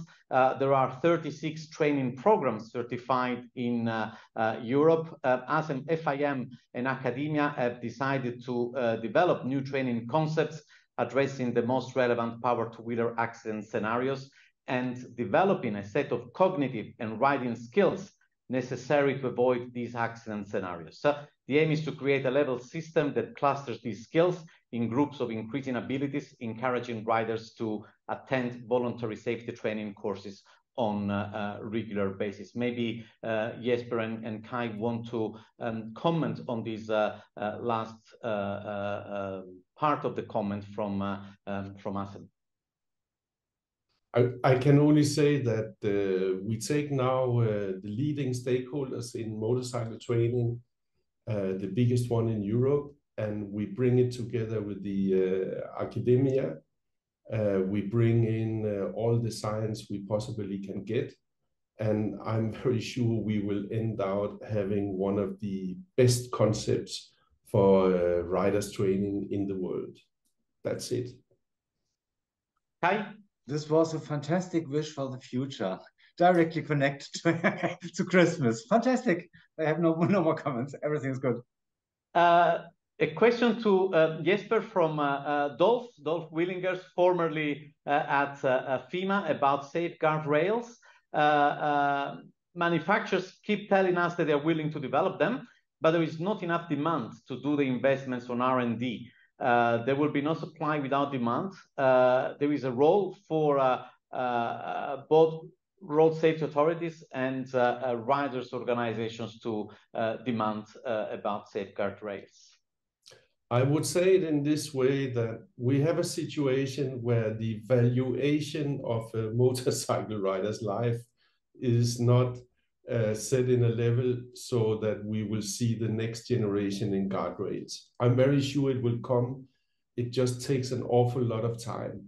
And to be quite frankly, uh, we have a situation we see in Germany that private people are collecting money Uh, and they are paying for installation of motorcycle protection. And I think this is not a situation which we should have. The society should build a safe infrastructure under the safe system for all people on the roads. Kai, you want to add anything? No, that's more for. Uh, no, no, uh, not not in the moment. Very good. Uh, from past to future, Wim Taal, new F, uh, FEMA uh, general general secretary.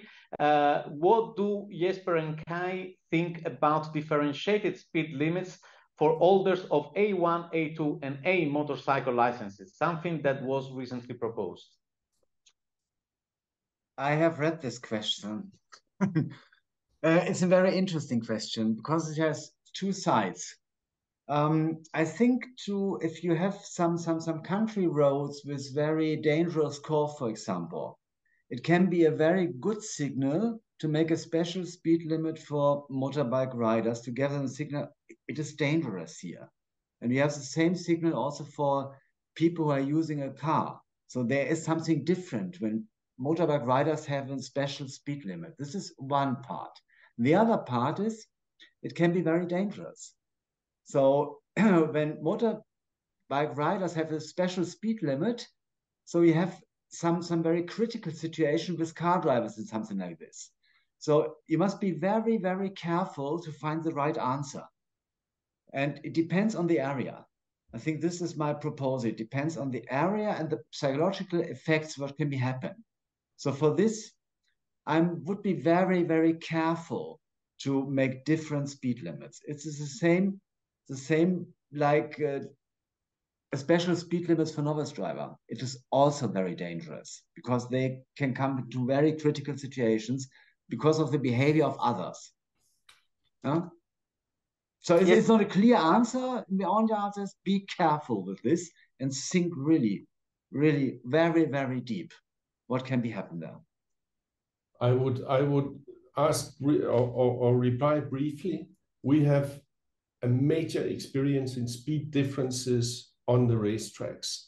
It is the most dangerous part on the racetrack because that's how you create collisions. So there must be similar speeds for all uh, out there. Don't make it uh, differentiated. It simply creates too many dangerous situations. Thank you. A last question. Uh, we only have five minutes, but this is a question on which we could build a whole webinar. Uh, in recent years, we've seen an increase in motorcycle users using their vehicle for work, especially for food delivery. Um, we know that these riders are usually driving under pressure, putting themselves and other road users in dangerous situations. Uh, do you believe this could become a major road safety issue in the next few years? It's a bit of a rhetoric question, but it allows us to uh, mention this important element of uh, power two-wheelers use and road safety. I would say yes, it's absolutely something that everyone have to look into. I am aware that many of these companies having a lot of riders they are taking a huge responsibility. Uh, I know in Italy, uh, we have one of the stakeholders in the quality seal. They are training, for instance, the Post and, and several other companies.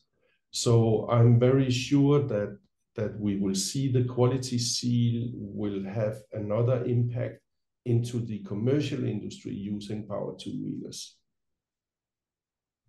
We have this problem nowadays in Germany, in big cities in Germany, not on the countryside, but in big cities, we have this problem nowadays. So we make it from the, we see it from the accidents. And my clear message is there are two messages to influence these kind of motorbike riders, especially with food delivery. Uh, we have a lot of people from other countries who make this. You must you must have an idea about this culture background what's happened there and find the right measurement to influence the people. And the second thing is you must make a clear, clear message that the companies are really responsible for the behavior what their drivers are doing in traffic. And you must change what I think what I said before. You must give them the right conditions to ride a motorbike in a safe way. It's very important. Uh, I saw Martin raising his hand. Yeah, I'd like to turn on the, the light at, at the end of the tunnel. Uh, when, when we look in uh, uh, academic studies, we find that the safest riders are the ones who drive the most.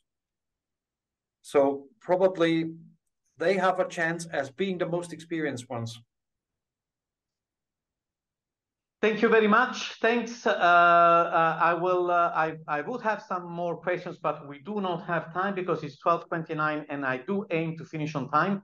Uh, I think all the participants, which are very numerous until the very end of the seminar, will join me in uh, um, thanking Jenny, Martin, uh, Jessica, Kai, Jesper and all the PIN partners for this support. this is the last ETSC event in 2023.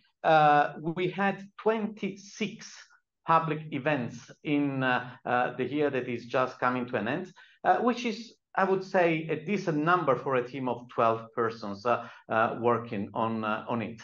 Uh, we shall uh, take a short break over um, Christmas, like many of you, and uh, uh we'll be ready to start again with uh, renewed enthusiasm uh, in uh, 2024. So uh, stay tuned, uh, follow us on the website, on the social media channels, so that uh, you'll be able to be uh, updated on uh, what is um, coming.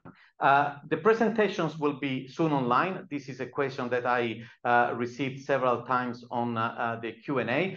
you will also be able to watch the seminar again. Uh, what remains for me when it's 12.30 sharp is to wish all of you a safe uh, break, nice Christmas, and uh, uh see you uh, soon in the new year. Thank you very much.